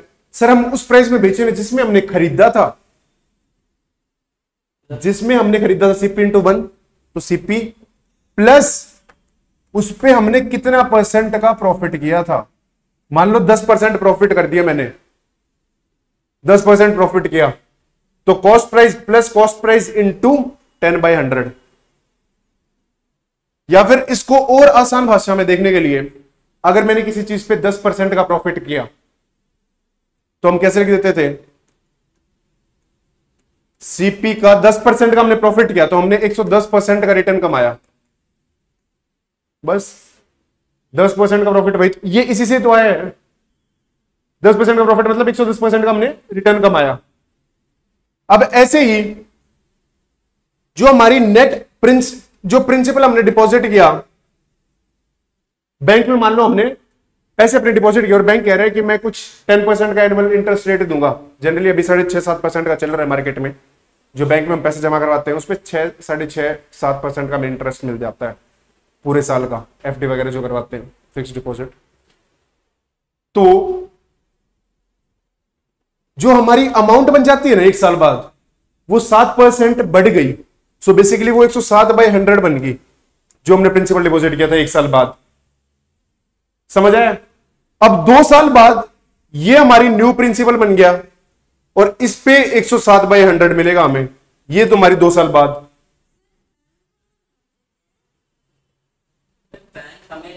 बैंक अगर हमें लोन दे बैंक में हमने पैसे डिपॉजिट करवा दिए तो बैंक हमें उस पर एक इंटरेस्ट देता है बेटा। बैंक कैसे वर्क करता है? बैंक में हमने पैसे जमा करवाए? बैंक में हमने पैसे जमा करवाए? और बैंक हमें इसके बदले रिटर्न देगा सेवन परसेंट का। बैंक उन्हीं पैसों को लोन देगा लोगों को। बारह परसेंट से ज़्यादा में। मान लो ग्रेटर देन ट्वेल्व परसेंट में बैंक लोन दे रहे हैं। तो ये बीच का जो पाँच परसेंट का डिफरेंस है बैंक खा जाता है। बैंक यहाँ से प्रॉफिट कमा रहा है। तो बैंक का बिज़नेस यही है। समझ आ रहा है? तो अब देखो, ये हमारा नया प्रिंसिपल बन गया एक साल के बाद। और इस प्रिंसिपल का 107 परसेंट हमें वापस मिलेगा। सेवन परसेंट प्रॉफिट हो गया, मिलेगा। तो मतलब इसका 107 परसेंट हमें मिलेगा, वो एक ये दो साल के बाद, ये तीन साल के बाद। तो ऐसी टी ईयर्स के बाद क्या होगा? हमने सीधा p into one plus R by hundred की पावर टी लिख दी यहाँ से आया। समझ आ गया? याद रहेगा? अब अगर कह दे, सीधा सवाल में पूछ ले, पंद्रह परसेंट का इंटरेस्ट रेट कंपाउंडेड एनुअली तीन साल के लिए निकालो तो सर सीधा सा कर देंगे पी इंटू पंद्रह परसेंट का है तो एक सौ पंद्रह अपॉन हंड्रेड अच्छा तीन साल का निकालना है तो टी तीन, यहाँ पे पावर टी की जगह तीन आ जाएगा। इजीली हो गया सर हमारा सवाल सॉल्व अब यही देखो, इसी लॉजिक से सोचो कि मैं कह दू, यार कंपाउंड इंटरेस्ट लगेगा। कंपाउंड इंटरेस्ट तो लगेगा ही, लेकिन पहले साल ब्याज रहेगा दस परसेंट, अगले साल रहेगा बारह परसेंट उससे अगले साल, चौदह परसेंट उससे अगले साल, सोलह परसेंट। तू कैसे निकालोगे? आसान से निकाल लेंगे सर। आपने अभी अभी सिखाया है कि प्रिंसिपल है, पहले साल दस परसेंट का ब्याज लगेगा तो मतलब एक सौ दस परसेंट का रिटर्न मिलेगा। दूसरे साल बारह परसेंट का ब्याज लगेगा तो नया प्रिंसिपल ये हो गया हमारा। एक सौ बारह अपॉन हंड्रेड कर देंगे। जब तीसरी साल कुछ और इंटरेस्ट लगेगा। तीसरी साल पंद्रह परसेंट का लग रहा है तो एक सौ पंद्रह अपॉन हंड्रेड कर दिया। अच्छा चौथे साल कुछ और लग रहा? है 120 परसेंट का 20 परसेंट का ब्याज लग रहा है। तो हमें रिटर्न मिल रहा है 120 परसेंट। ये कर दिया। ये चार साल का निकल आया हमारा कंपाउंड इंटरेस्ट अगर ये इंटरेस्ट सेम होता तो देखो one hundred upon ten one one ten upon hundred one ten upon hundred ऐसे आ जाता और ये चार बार मल्टीप्लाई है तो पावर चार हो जाती। अगर इंटरेस्ट रेट सेम होता तो मैंने ये भी सिखा दिया साथ में कि इंटरेस्ट रेट अगर डिफरेंट दे देगा तो डायरेक्ट ऐसे लिख लेंगे। ऐसी सेलिंग प्राइस जब भी निकालनी हो तो फटाफट कॉस्ट प्राइस इंटू कितने परसेंट का प्रॉफिट कमा रहे हैं, वो लिख लेंगे। समझ आ गया? हो जाएँगे? हाँ भाई मानस। ठीक है। तो बेसिकली क्या होगा? अमाउंट हमारी इतनी बन जाएगी। पी आर टी हमारी फाइनल अमाउंट बनी है। अब सर अमाउंट ही बन गई। सिर्फ़ ये पूछ रहे कि कंपाउंड इंटरेस्ट कितना है? सर अमाउंट में से प्रिंसिपल जो हमने डिपॉजिट किया था, वो माइनस कर देंगे। वो हमारा सिर्फ़ और सिर्फ़ कंपाउंड इंटरेस्ट आ जाएगा। प्रिंसिपल माइनस कर देंगे। कि मैंने एक, मैंने बैंक में एक लाख रुपए डिपॉजिट किए। एक साल बाद बैंक ने मेरे को एक लाख दस हज़ार दिए। वो निकला है यहाँ पे। जो हमारी अमाउंट है ना कि बैंक ने मेरे को कितना पैसा वापस दिया? एक लाख दस हज़ार रुपए वापस दिया। तो बैंक ने ब्याज कितना दिया बस? एक लाख दस हज़ार माइनस एक लाख रुपए। समझ आ गया भाई? ठीक है।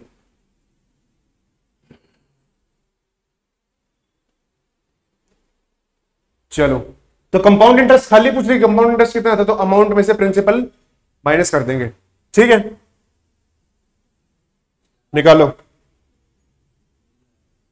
What shall be the amount of sum amount for a sum of rupees thousand at ten percent per annum for three years compounded annually एक ये भी ध्यान रखना भाई कंपाउंडेड एनुअली पूछा गया है यहाँ पर सर, अगर ये एनुअली ना दिया हो कुछ और दिया हो तो टाइम पीरियड उस हिसाब से चेंज हो जाएगा।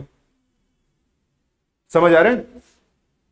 ये इस लॉजिक से कर लेना, फटाफट आ जाएगा आपका। इस लॉजिक से कर लेना। कि अगर वो दीदी छह महीने का इंटरेस्ट लग रहा है इतना तो ये छह महीने बाद इतनी होगी, अगले छह महीने बाद होगी, अगले छह महीने बाद, अगले छह महीने बाद, वो कर लेना। ठीक है? छह महीने का दिया हो तो यहाँ पे टाइम टूटी हो जाता है सिंपल सा, ऐसा कुछ होता है। वो सब हो जाएँगे आपसे।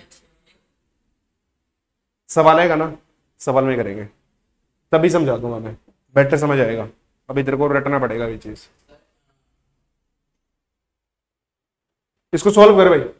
आंसर बता मेरे को फटाफट। ऐसे मान लो ये पेपर कर रही हो अब सीयूईटी का। एक मिनट में सवाल सॉल्व करना है। एक मिनट में आंसर बताओ। साठ सेकंड से ऊपर का समय ना मैं दूँगा और ना आपको लगना चाहिए।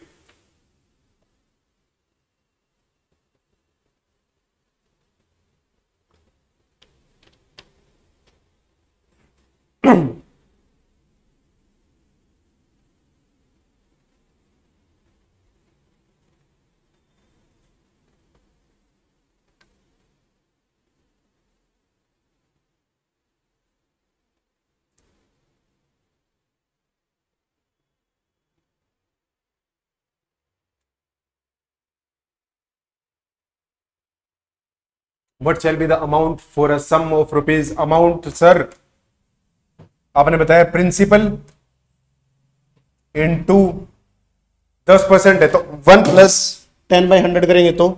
हंड्रेड टेन बाई हंड्रेड की पावर बस। अब ये ज़ीरो से ज़ीरो कट गया। Ten raise to power three कितना होगा टेन की पावर थ्री थाउज़ेंड तो टेन की पावर थ्री से ये थाउज़ेंड कट गया। तो बेसिकली इलेवन की पावर थ्री आ गया हमारा आंसर अमाउंट कितनी होगी? इलेवन की power three one twenty one into eleven करो।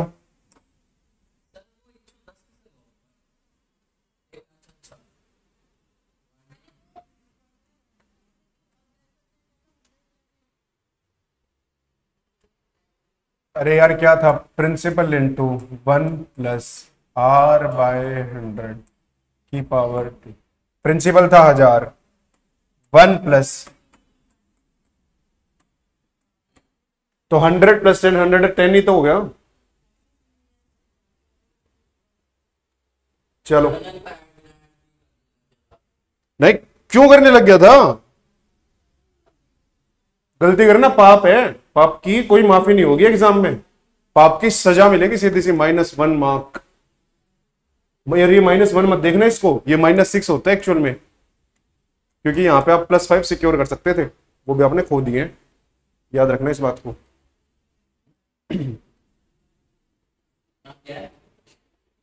अगला सवाल, अब देखो, ये दो तीन नोट्स हैं, ये आपको याद रखने हैं। ये क्या है? If the word interest is given and nothing else is specified, the interest is considered as simple interest.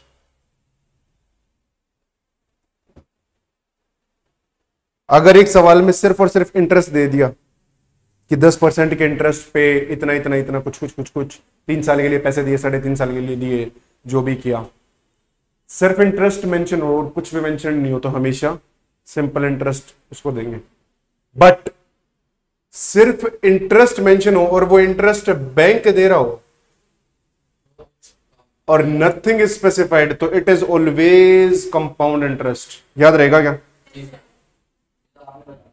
ये मैंने बता भी दिए थे पॉइंट और population growth is always taken on compound basis जैसे पॉपुलेशन ग्रोथ हो जाएगी पॉपुलेशन हर साल पाँच परसेंट बढ़ रही है तो वो कंपाउंडेड बढ़ रही है एनुअली है ना? समझ आ रहे पॉपुलेशन ग्रोथ जनरली बैक्टीरिया के केस में से सवाल दिए जाते हैं। रियल लाइफ एग्जांपल होते हैं ये। ये हम साइंस में अपने जेई के टाइम में या फिर आई में भी करते हैं कैलकुलेशन जब सॉल्व करते हैं। तो जनरली ऐसा होता है कि एक बैक्टीरिया है, वो एक से डबल हो रहा है पाँच मिनट में, या कुछ भी मान लो कि एक मिनट में या दस सेकंड में, हर दस सेकंड में बैक्टीरिया डबल हो रहे हैं।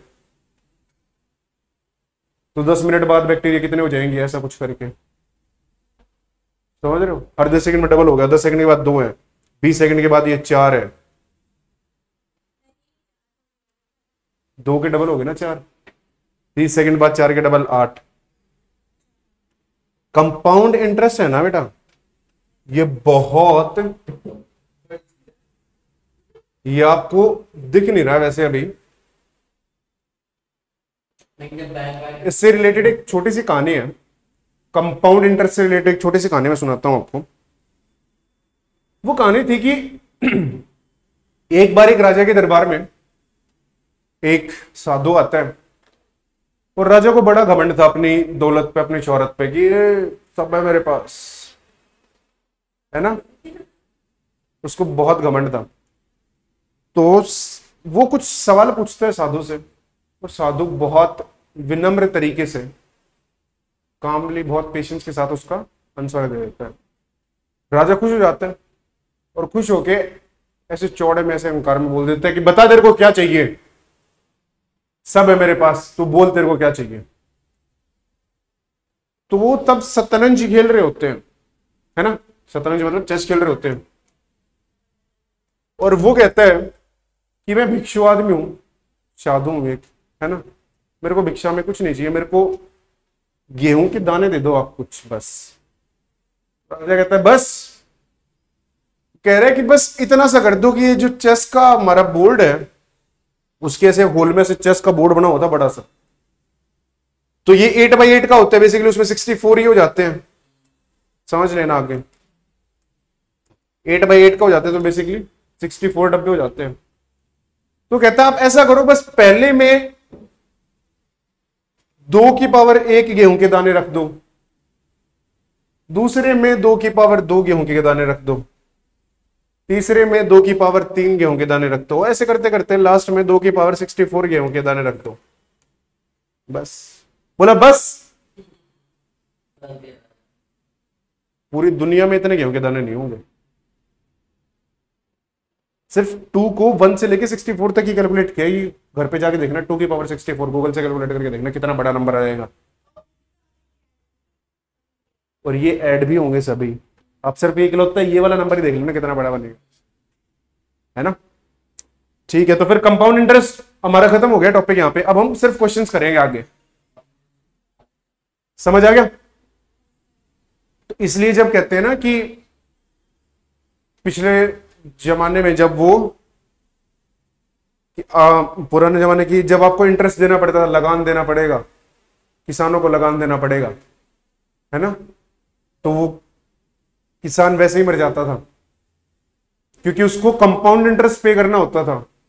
वो बेचारा कुछ कमाता, उससे ज़्यादा का तो ब्याज ही आ जाता था उसके। और वो और चढ़ता रहता, कर्ज उसका बढ़ता रहता बढ़ता रहता। तो कंपाउंड इंटरेस्ट बहुत खतरनाक सी चीज़ हो जाती है ऐसे देखा जाए अगले सवाल सोल्व करो, यहाँ से फटाफट सवाल सोल्व करने एग्ज़ाम ऐसे सोच लो एग्ज़ाम टाइम चल रहा है हमारा। और certain sum amounts rupees one zero find the principal and rate of interest simple interest rate of interest है भाई, बताओ। एक कुछ अमाउंट ले लिया हमने एक्स बस, दो साल के बाद एक सौ आठ रुपए हो गए और तीन साल के बाद एक सौ बारह हो गए।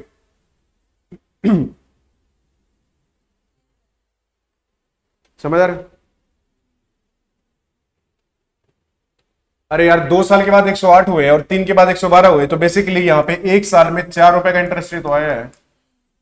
ये तो मैं डायरेक्ट ही दिख गया। और सिंपल दे रखे तो प्रिंसिपल जो था वो तो वही रहेगा। है ना? समझ आ गया? तो रेट ऑफ़ इंटरेस्ट चार प्रिंसिपल कुछ है। ये चार क्या है?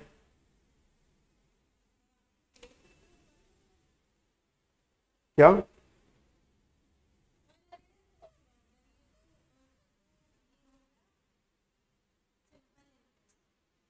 चार रुपए तो इंटरेस्ट मिला है उसको, ब्याज मिला है चार रुपए। इस केस में रेट ऑफ़ इंटरेस्ट भी चार ही आएगा, सवाल देखेंगे तब। बट ये चार रुपए उसको ब्याज मिला है। तो ये सिंपल इंटरेस्ट है चार। ऐसा ही ऐसा का फॉर्मूला क्या था? P into R into T upon hundred P into R rate of interest भी नहीं पता हमें प्रिंसिपल अमाउंट भी नहीं पता। Into time one year upon hundred एक इक्वेशन तो हमारे पास ये होगी। है ना? समझ आ रहे और ये 108 रुपए बन जाते हैं। सोल्व करो सोल्व करो। कैसे करोगे? कुछ स्टार्टिंग में प्रिंसिपल एक्स मान लो या फिर प्रिंसिपल पी मान लिया हमने। तो दो साल के बाद कितना हो जाएगा? सर, दो साल के बाद 108 रुपए हो रहे हैं तो दो साल के बाद प्रिंसिपल 108 किसके बराबर है? Principal plus P into R into two upon hundred ठीक है? और सेम इसी केस में 112 इक्वल है sir principal plus P into R into तीन अपॉन हंड्रेड दो इक्वेशन दो अननोन पी और आर की वैल्यू निकल आएगी। और पी आर की, या फिर पी आर अपॉन हंड्रेड की वैल्यू फोर है तो वो हम यहाँ से पी आर अपॉन हंड्रेड को फोर लिख के पी की वैल्यू निकाल सकते हैं। इसको फोर लिखेंगे फोर टू जाए एट तो पी हमारा सीधा सा हंड्रेड आ गया। और पी को जब हंड्रेड लिखेंगे यहाँ पे पी को हंड्रेड लिखो हंड्रेड से हंड्रेड कैंसिल आउट हो गया हंड्रेड उस साइड माइनस आर हमारा फोर आ गया। देखो ओरली हो गया। कैलकुलेट भी नहीं करना पड़ा। समझ आया कैसे कर दिया? ये अमाउंट है। अमाउंट क्या होगी? प्रिंसिपल प्लस इंटरेस्ट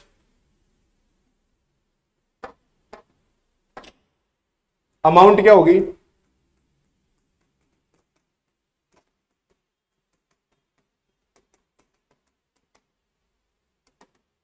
है ना? A equals to P plus I कितना हमने प्रिंसिपल डिपॉजिट किया था या लिया था और उस पर कितना ब्याज देना या लेना पड़ेगा? उसको ऐड कर देंगे प्रिंसिपल में वो हमारी अमाउंट बन जाएगी। नेक्स्ट क्वेश्चन सॉल्व करो भाई।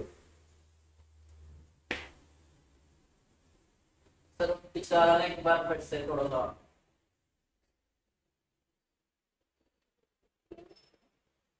हाँ, ध्यान रख भाई इससे काम चलेगा नहीं है ना? देख शुरू से शुरू करते हैं इसको। इसको हम स्टार्टिंग से स्टार्ट करेंगे।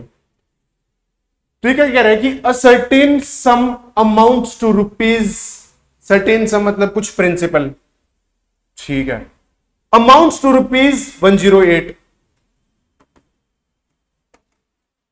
एक सौ आठ रुपए हो गया। तो अमाउंट क्या होता है? प्रिंसिपल प्लस इंटरेस्ट इंटरेस्ट दे रखा है सिंपल इंटरेस्ट सिंपल इंटरेस्ट का formula P R T upon P R T upon hundred तो एक सौ आठ रुपए हो गए। पी आर रेट भी नहीं पता इसमें। Point principal rate of interest निकालना है तो रेट को हमने आर मान लिया। पी आर और टाइम कितना दे रखा है? टू ईयर्स के बाद। P R T upon hundred ये हो गया एक सौ आठ। अब ऐसे ही कह रहे कि एक सौ बारह रुपए ये हो गए।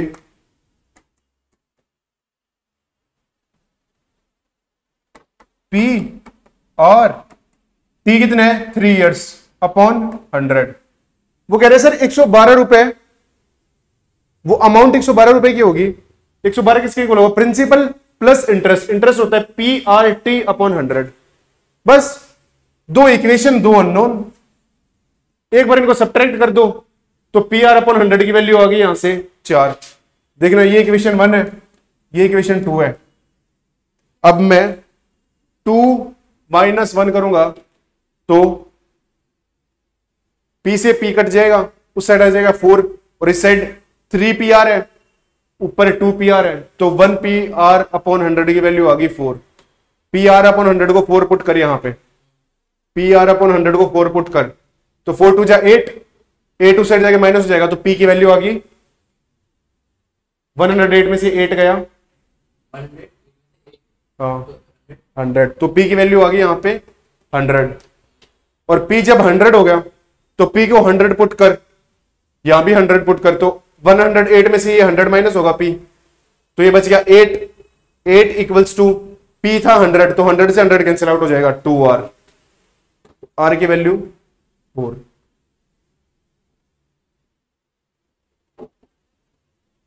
बताओ भाई, सवाल सॉल्व करो।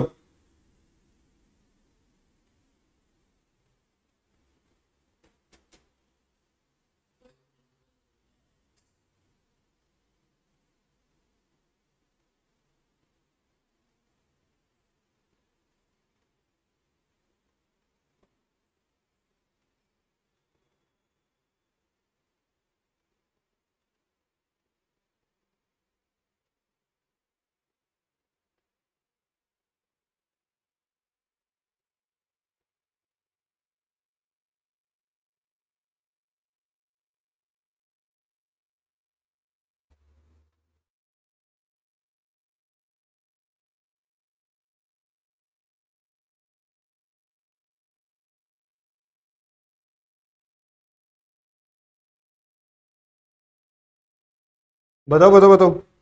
At what simple interest of rate at what simple rate of interest sell a sum of money doubles itself in four years क्या इंटरेस्ट रेट रखें भाई? कि चार साल बाद पैसे हमारे कितने हो जाए? डबल हो जाए सर बताओ।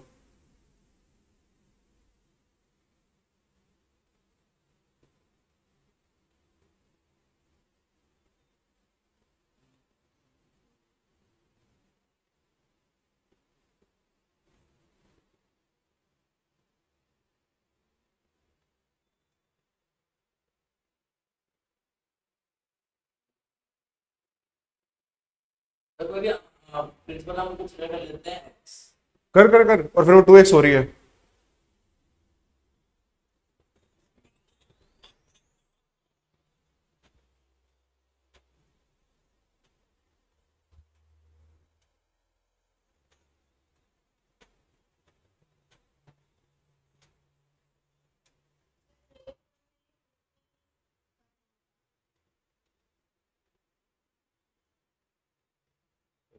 फिफ्टी तो नहीं होगा बेटा।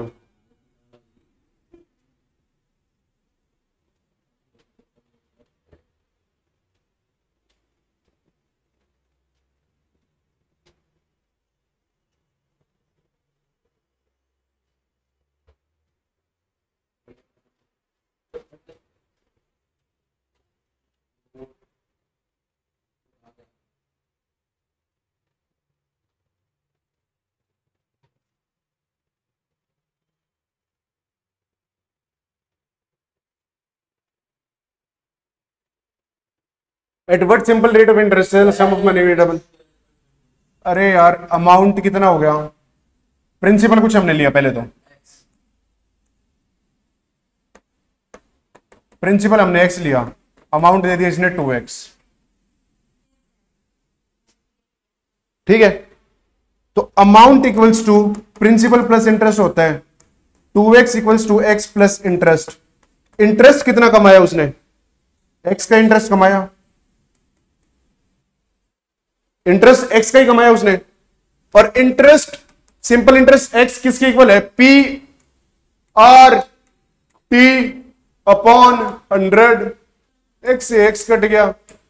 पच्चीस आर की वैल्यू ट्वेंटी फाइव परसेंट एक सेकंड का क्वेश्चन था यार। नेक्स्ट करते हैं भाई। Find the compound interest on rupees five thousand compound interest निकालना है। आठ percent per annum for two years compounding been done annually छोटे से आसान आसान से सवाल है, फटाफट कर दो। आसान आसान से सवाल है, फटाफट कर दो।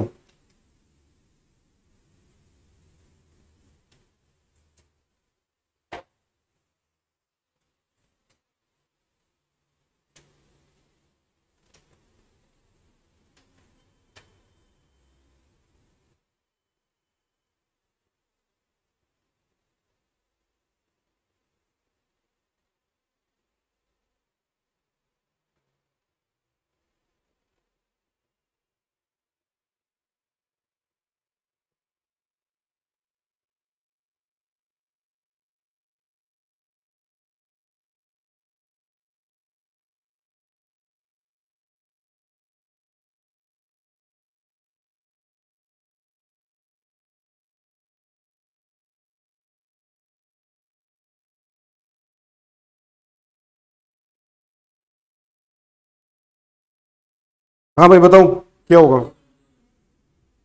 चलो एक मिनट दे दिया तुमको।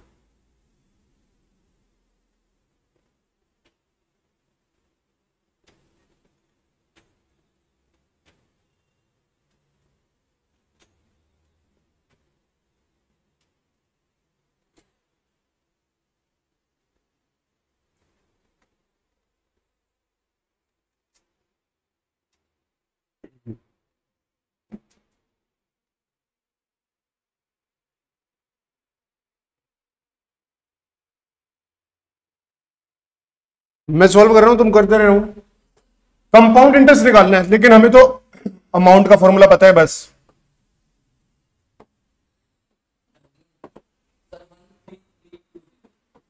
अमाउंट का फॉर्मूला पता है भाई। अमाउंट क्या होती थी सर सर अमाउंट होती थी प्रिंसिपल वन प्लस एक सौ आठ अपॉन हंड्रेड दी। मतलब सीधा लिख दिया तूने एक सौ आठ अपॉन हंड्रेड ये क्या लिखा हमने? One plus eight by hundred. ये ये लिखा है हमने। Raise to power T. T है टू। खत्म हो गया सवाल। ये अमाउंट आ गई। सिंपल इंटरेस्ट सॉरी इंटरेस्ट निकालने के लिए अमाउंट में से प्रिंसिपल पाँच हज़ार रुपए माइनस कर देंगे।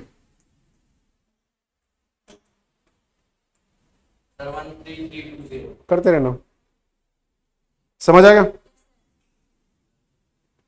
एट थर्टी टू आएगा यार। एट थर्टी टू आएगा। देख, दो दिन तरीके से करते हैं सॉल्व कैसे करते हैं? एक तो ये देख ले, इसको जब खोलना हो ना, इसको 108 अपन वो लिखी मत, सीधा ये लिख, और उसका स्क्वायर है। ए प्लस बी का होल स्क्वायर है। A square plus eight eight eight का square sixty four upon A square plus B square plus two into eight upon hundred plus two A B समझ आ गया? अब इसको पाँच हज़ार को अंदर से मल्टीप्लाई कर दे पूरे। और माइनस क्या करना है? इसमें से पाँच हज़ार में माइनस करना है बेसिकली कंपाउंड इंटरेस्ट निकालने के लिए इसमें से प्रिंसिपल माइनस भी तो करना पड़ेगा।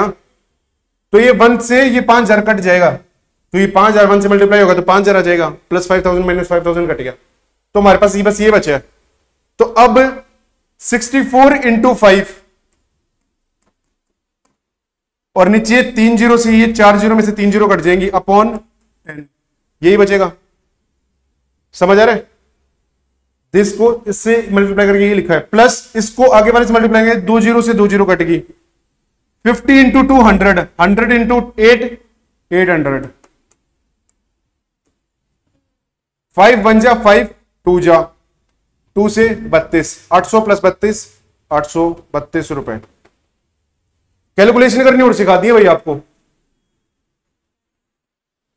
आसानी से कैलकुलेशन कैसे करनी है? नहीं तो 108 का स्क्वायर करते रहोगे। और फिर वो गलती कर दोगे, फिर वो कुछ बोलोगे वन थ्री थ्री टू पता नहीं क्या बोल दोगे है ना? ऐसे कैलकुलेट कर लोगे आसानी से? और इसी में ध्यान से देख। अगर तेरे को सिर्फ़ और सिर्फ़ कंपाउंड इंटरेस्ट निकालना होता तो ये शुरू में ही काट देता तू। स्क्वायर जब कर रहा होता, इनको मल्टीप्लाई वही किया हमने बेसिकली है ना? Find amount for rupees eighty thousand at ten percent per annum compounded by annually for two years. मेरे को नहीं पता। मेरे को कुछ नहीं पता। बाय एनुअली कंपाउंड हो रही है। अब पेपर में ये सवाल आ गया, आप कैसे सॉल्व करोगे? दिमाग लगाओ, फिर मैं समझाऊँगा। क्वेश्चन तो मेरे को करवाना ही है। है ना? जो भी दी हुई है ना, ऐसे, क्योंकि एग्ज़ाम में एक नया सवाल आएगा, पता नहीं कैसे से लैंग्वेज दे देगा वो। इतनी मुश्किल देनी नहीं चाहिए उसको। हम सारे टाइप के क्वेश्चन हम कर ही लेंगे।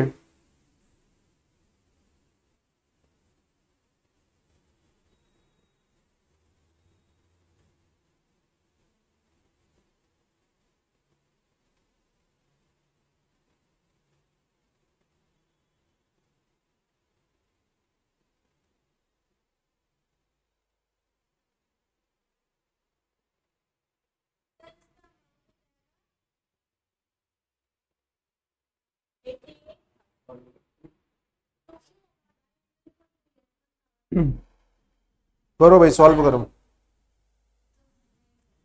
फटाफट सॉल्व करके मेरे को बताओ।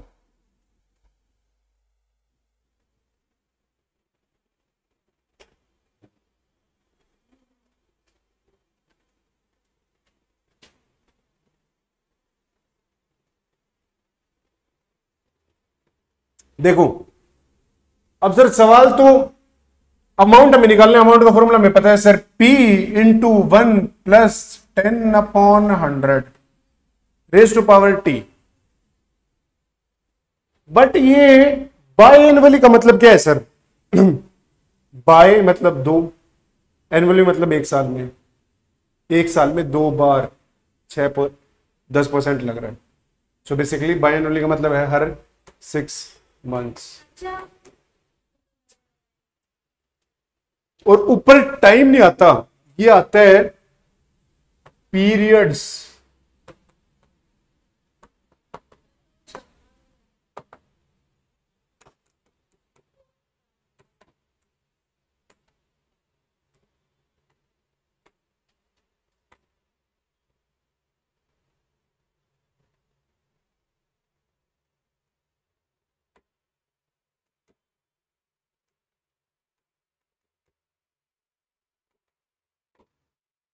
दिस राइटिंग में लिख दिया कि periods for which interest has to be implemented कितने टाइम कितनी सर्कल चलेंगे, कितने पीरियड्स चलेंगे वहाँ पे?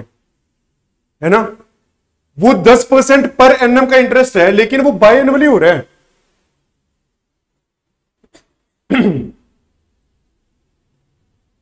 कुछ समझ आ रहा है क्या?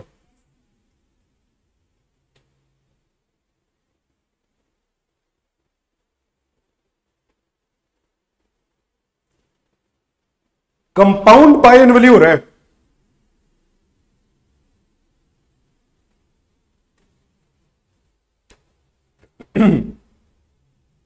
देखो, जो मैंने लिखा है ना, सवाल में देखते ही वो नहीं लिखना होता। पहले इस सवाल को समझना ज़रूरी है। इधर देख सकते छोड़ दो फाइंड अमाउंट अमाउंट निकाल ली है फॉर दिस प्रिंसिपल में दे दिया। टेन परसेंट पर एनम है। दस परसेंट एक साल का रेट है ये। अगर हम बारह महीने पे कंपाउंड कर रहे होते तो दस परसेंट लगता। बट कंपाउंडेड बाय एनुअली दे दिया। बारह महीने पे दस परसेंट लग रहा है। बाय एनुअली मतलब छह महीने पे। छह महीने पे कितने परसेंट लगेगा? पाँच परसेंट सो बेसिकली हमारा रेट तो हो गया फाइव परसेंट का। रेट आधा हो गया हमारा। और टाइम पीरियड हो गया हमारा। दो साल है ना? तो basically four cycle of six months ये समझ आए इसका मतलब क्या है? अब मैंने आपको जब एग्जांपल स्टार्टिंग में समझाया था, तब मैंने कहा था कि हज़ार रुपए मैंने साक्षी को दिए थे, दो रुपए सैकड़ा। उस दो रुपए सैकड़े का मतलब क्या था? कि मंथली दो रुपए सैकड़ा थे वो। है ना? ईयरली वो 24 परसेंट इंटरेस्ट रेट था। अब मैं कह दूँ इंग्लिश में हम बात कर रहे हैं, अब मैं कह दूँ साक्षी you have to pay me 24 percent interest rate okay sir I pay you 24 percent interest rate but फिर मैं कह दू कि but the amount will be compounded monthly amount monthly compound हो रही है। तो ईयरली उसको पहले 24 परसेंट इंटरेस्ट रेट देना था तो थाउज़ेंड रुपीज़ पे 24 परसेंट जब निकाल लोगे तो 240 आ जाएगा सीधा सा। थाउज़ेंड का 24 परसेंट टू फोर्टी तो टू फोर्टी रुपए उसको इंटरेस्ट इंटरेस्ट के देने थे। ठीक है? ये कंपाउंडेड एनुअली था। अब मैं कह दू now you have to compound it monthly अब कितना दिन होगा, ध्यान से देखना। अब हमारी अमाउंट उसको फाइनली पैसे कितने हो गए? वन टू फोर ज़ीरो इतने उसको फाइन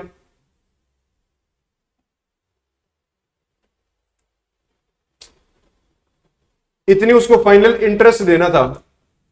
और उसको पैसे कितने देने थे? टोटल अमाउंट कितनी थी? अमाउंट उसको वापस पे करनी है। वन अमाउंट उसको वापस पे करनी है।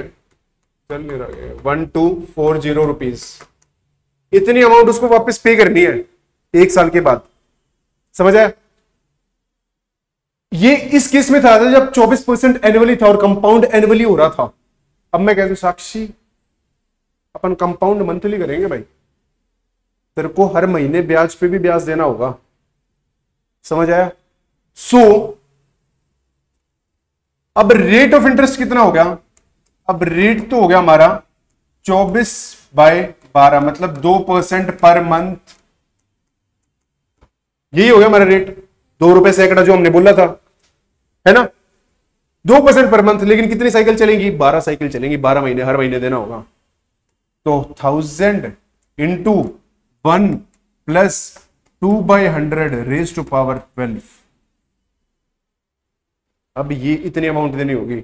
सो टू बाई हंड्रेड हो गया बेसिकली एक सौ दो बाई हंड्रेड मतलब one point zero two raise to power twelve into thousand तो one point zero two raise to power twelve देखते हैं कितना होता है।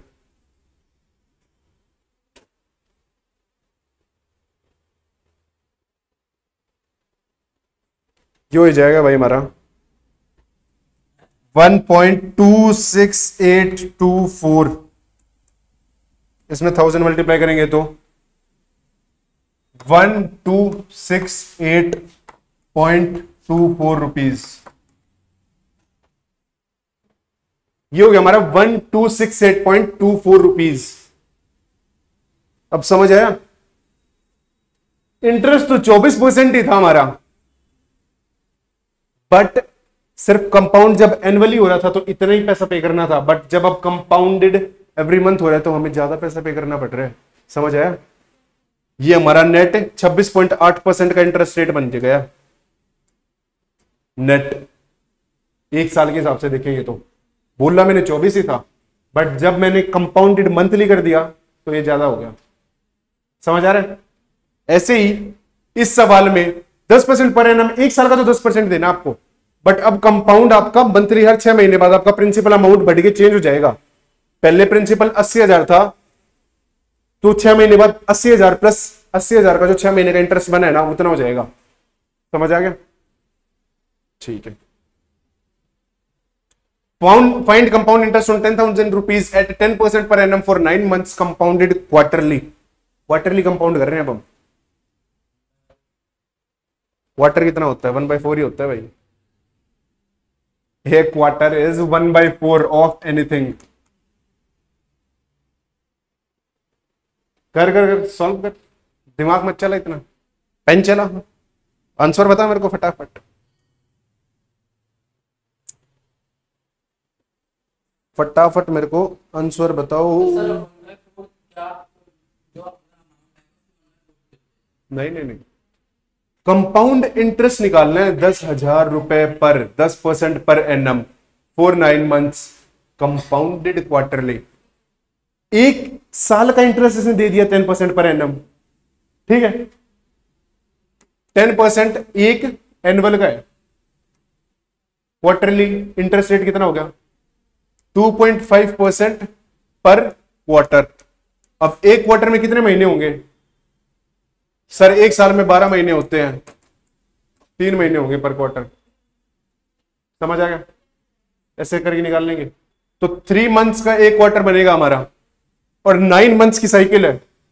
टोटल नाइन मंथ्स है। तो total nine months upon three months का एक बन रहा है। तो बेसिकली थ्री साइकिल्स चलेंगी। थ्री साइकिल्स चलेंगी। तो ten thousand into one plus interest rate कितना है भाई? Two point five upon hundred raise to power three, solve कर लेंगे, आंसर निकल आएगा। ठीक है? नेक्स्ट फटाफट सवाल करते हैं भाई। पाँच एक सवाल हो रहे हैं, पाँच छह सवाल। The difference between compound interest and simple interest on certain amount ten percent per annum for two years compounded annually is rupees three seventy two find the principal क्या दे रखा है? कंपाउंड इंटरेस्ट और सिंपल इंटरेस्ट के बीच का difference दे रखा है, तीन सौ बहत्तर रुपए।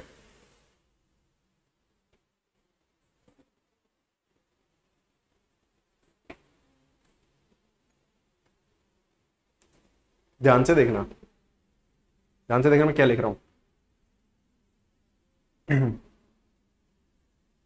प्रिंसिपल हमने लिया। और दो ही साल है ना, इसलिए मैं छोटे से कर रहा हूँ कि हमने प्रिंसिपल एक अमाउंट ली और वो प्रिंसिपल अमाउंट कितनी बन जाएगी एक साल के बाद? जब 10 परसेंट का उस पर ब्याज हम लगाएँगे तो। कितनी बन जाएगी? सर प्रिंसिपल इंटू एक सौ दस अपॉन हंड्रेड एक साल के बाद इतनी अमाउंट बन गई। अमाउंट इतनी होगी ये जो हमारा पैसा था, वो इतना हो गया। अगले एक साल के बाद वो पैसा कितना हो गया? ये किसका केस था? कंपाउंड इंटरेस्ट का। इसमें से क्या माइनस कर दिया हमने? सिंपल इंटरेस्ट कितना होगा? बेसिकली इसकी अमाउंट माइनस करूँ और उसकी भी अमाउंट माइनस करूँ तो इंटरेस्ट के बीच का डिफरेंस आ जाएगा। Amount equals to P plus I है दोनों केस में। ये अमाउंट वन है और ये अमाउंट टू है। पी तो पी ही रहेगा पी तो पी नॉट ही रहेगा। प्रिंसिपल तो सेम ही था दोनों में। अमाउंट चेंज होगी। ये हमारा केस मान लो सिंपल इंटरेस्ट का है। ये हमारा केस है कंपाउंड इंटरेस्ट का। अब इन दोनों अमाउंट का अगर मैं डिफरेंस करूँगा अमाउंट का डिफरेंस किसके इक्वल होगा? I two minus I one interest के डिफरेंस के इक्वल ही होगा। देखो, क्योंकि पी नोट से पी नोट कट जाएगा। सो बेसिकली मैं अमाउंट का डिफरेंस कर देता हूँ यहाँ पे। अमाउंट कितनी होगी? Principal plus P into R R है टेन टी अपॉन हंड्रेड समझ आ गया भाई? इसको सॉल्व करो और प्रिंसिपल निकाल लो। इसको सॉल्व करो। ये डिफरेंस दे रखा है 372 के इक्वल ये इक्वेशन बनानी ही है, बस। इक्वेशन बनानी ही हल्की सी मुश्किल होती है, बस। बाकी सब तो आप कर ही लोगे। देखो, कुछ भी करने की ज़रूरत भी नहीं है इसमें। ध्यान से देखना। ध्यान से देखना इसको। ये ज़ीरो से ज़ीरो गया। ये ज़ीरो से ज़ीरो गया। ये eleven into eleven one twenty one और ये पी है तो ये one twenty one P minus ये भी हंड्रेड बचा हुआ है नीचे, ये भी हंड्रेड बचा हुआ है नीचे। इन दोनों हंड्रेड को मैं ऊपर ले जाता हूँ उस side three seven two double zero हो गया। ये हंड्रेड भी मेरा चला गया और ये हंड्रेड भी मेरा चला गया। ये देखना, ये कितना है? Twenty two into ten twenty P plus P twenty one P यही है क्या?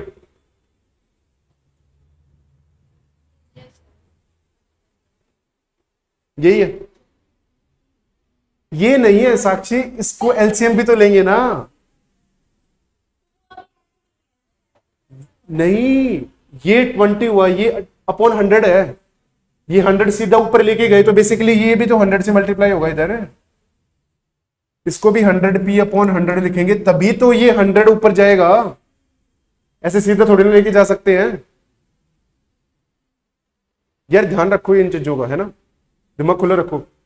पर अब ये twenty plus hundred, one twenty so basically ये वन ट्वेंटी पी हो गया। तो 120 P minus one twenty P equals to P और प्रिंसिपल हो गया three seven two double zero सीधा सा आंसर आ गया। एक सेकेंड में सॉल्व हो गया। आगे बढ़ते हैं। Invested a particular sum at twelve percent per annum with one of his friends Shyam Ramu ने शामू को 12 परसेंट पर एनम पे पैसा दिया. And similar amount in bank with pays interest at 12% per annum. Compounded semi annually दोनों को दिया बारह बारह परसेंट पे ही. लेकिन वो बारह परसेंट देगा एक साल के और ये हर छह महीने में छह छह परसेंट देता रहेगा. साल में बारह परसेंट बट ये हर छह महीने के हिसाब से कंपाउंड हो रहा है। समझ आ रहा है? The difference between amount received after one year was rupees eighteen hundred find the total sum invested by Ram बताओ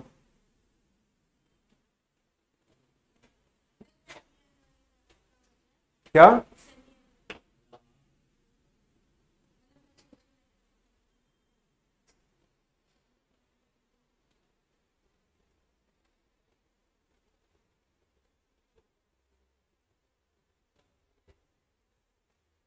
अरे, एक साल के बाद अठारह सौ रुपए है। तो देखो, इसने कुछ पी अमाउंट इन्वेस्ट किया। पिछले जैसे था।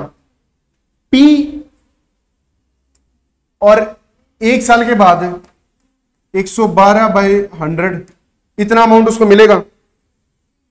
ये तो मिला उसको अपने दो सॉरी उसको अपने दोस्त श्याम से। श्याम से मिला इतना। ठीक है? और बैंक से कितना मिला? बैंक से मिला P इंटू एक सौ छह अपॉन यही तो है ना? छह परसेंट ही होगा।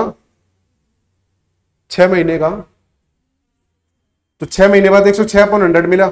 इंटू एक सौ छह अपॉन हंड्रेड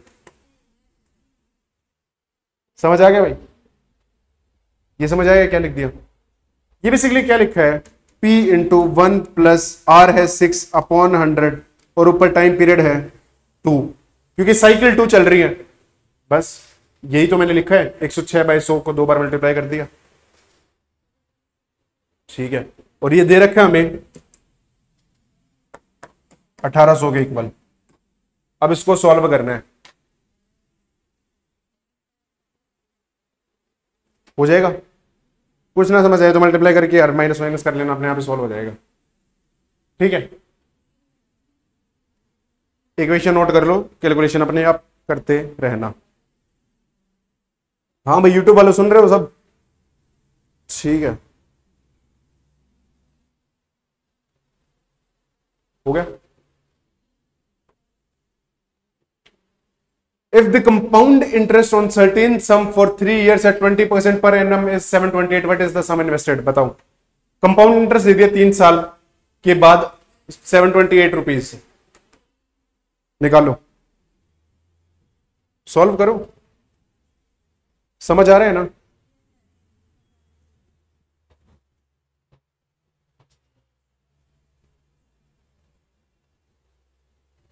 अमाउंट का फॉर्मूला सर आपने बता रखा है और अमाउंट में से प्रिंसिपल माइनस करेंगे तो वो इंटरेस्ट आ जाएगा, जो कि इंटरेस्ट इसने दे रखा है। सम इन्वेस्टेड मतलब प्रिंसिपली प्रिंसिपल अपने को निकालना है सर निकाल निकाल निकाल भाई सॉल्व कर। क्या लिखेगा? सर अमाउंट का फॉर्मूला आपने बता रखा है P into one plus R कितना है? आर बोलो। आर कितना है भाई? R twenty upon hundred three years minus P equals to बस, हो गया सॉल्व ज़ीरो से ज़ीरो गया। Basically one by five six by five raise to power three minus one into P equals to seven two eight solve कर लेना छिको छिको छत्तीस छ दो सौ सोलह, दो सौ सोलह अपॉन एक सौ पच्चीस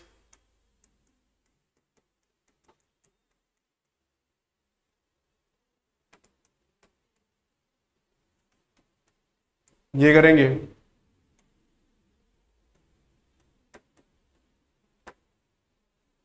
इक्यानवे से आठ गया और एक सौ पच्चीस इंटू आठ करो।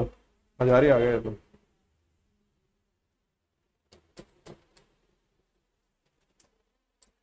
एक सौ पच्चीस इंटू आठ करेंगे। हज़ार ही आ गया। यार फटाफट सोल्व हो गया। इतना तो कुछ था भी नहीं इसमें। 216 अपॉन 125 माइनस वन मतलब 216 अपॉन 125 माइनस 125 अपॉन 125 216 में से 125 गए 91 91 वन जा 91 एट जा 728 और 8 into one twenty five is thousand समझ आ रहे? फटाफट ऐसे सॉल्व सवाल सॉल्व करने हैं। अगला क्वेश्चन लिखते हैं। Find the amount after three years if principal is ten thousand and rates are ten eight and twelve percent in first second and third year respectively ये सवाल हम कर चुके हैं। मैंने बताया था कैसे करोगे? बताओ क्या लिखूं? प्रिंसिपल कितना है हमारा प्रिंसिपल टेन थाउज़ेंड है। ठीक है। इनटू एक सौ one hundred ten upon hundred ये हमारे एक साल के बाद मिला। One hundred eight upon hundred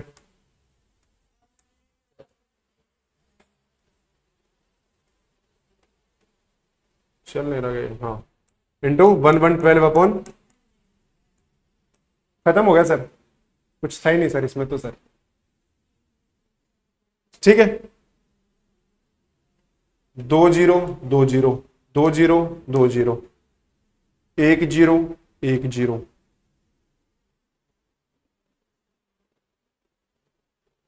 अब मल्टीप्लाई कर लो, इसको, इससे करके फिर इससे कर लेना मल्टीप्लाई बस. हमारा लास्ट क्वेश्चन है भाई आज का। What is the compound interest received on sum of rupees this at rate 10 12 8 each prevailing that order for 1 2 and 3 interest being compounded semi annually for the given 3 years. Note कर लो इसको।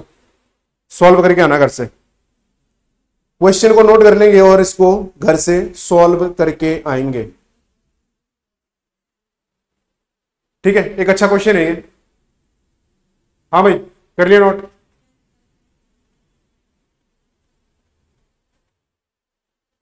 ठीक है photo मेरे को बता दो। नोट करने से मतलब अपने को। नहीं तो वीडियो है यूट्यूब पे वीडियो होगी, वहाँ से देख लेना। ठीक है? अच्छा क्वेश्चन इसको सॉल्व करना। आपकी थोड़ी सी प्रैक्टिस ही हो जाएगी। शीट आपको मिल जाएगी। जो भी ऑनलाइन वाले उनको भी चाहिए तो आप टेलीग्राम ग्रुप पे ज्वाइन कर सकते हैं। या आप ऑफलाइन क्लास में आ सकते हैं।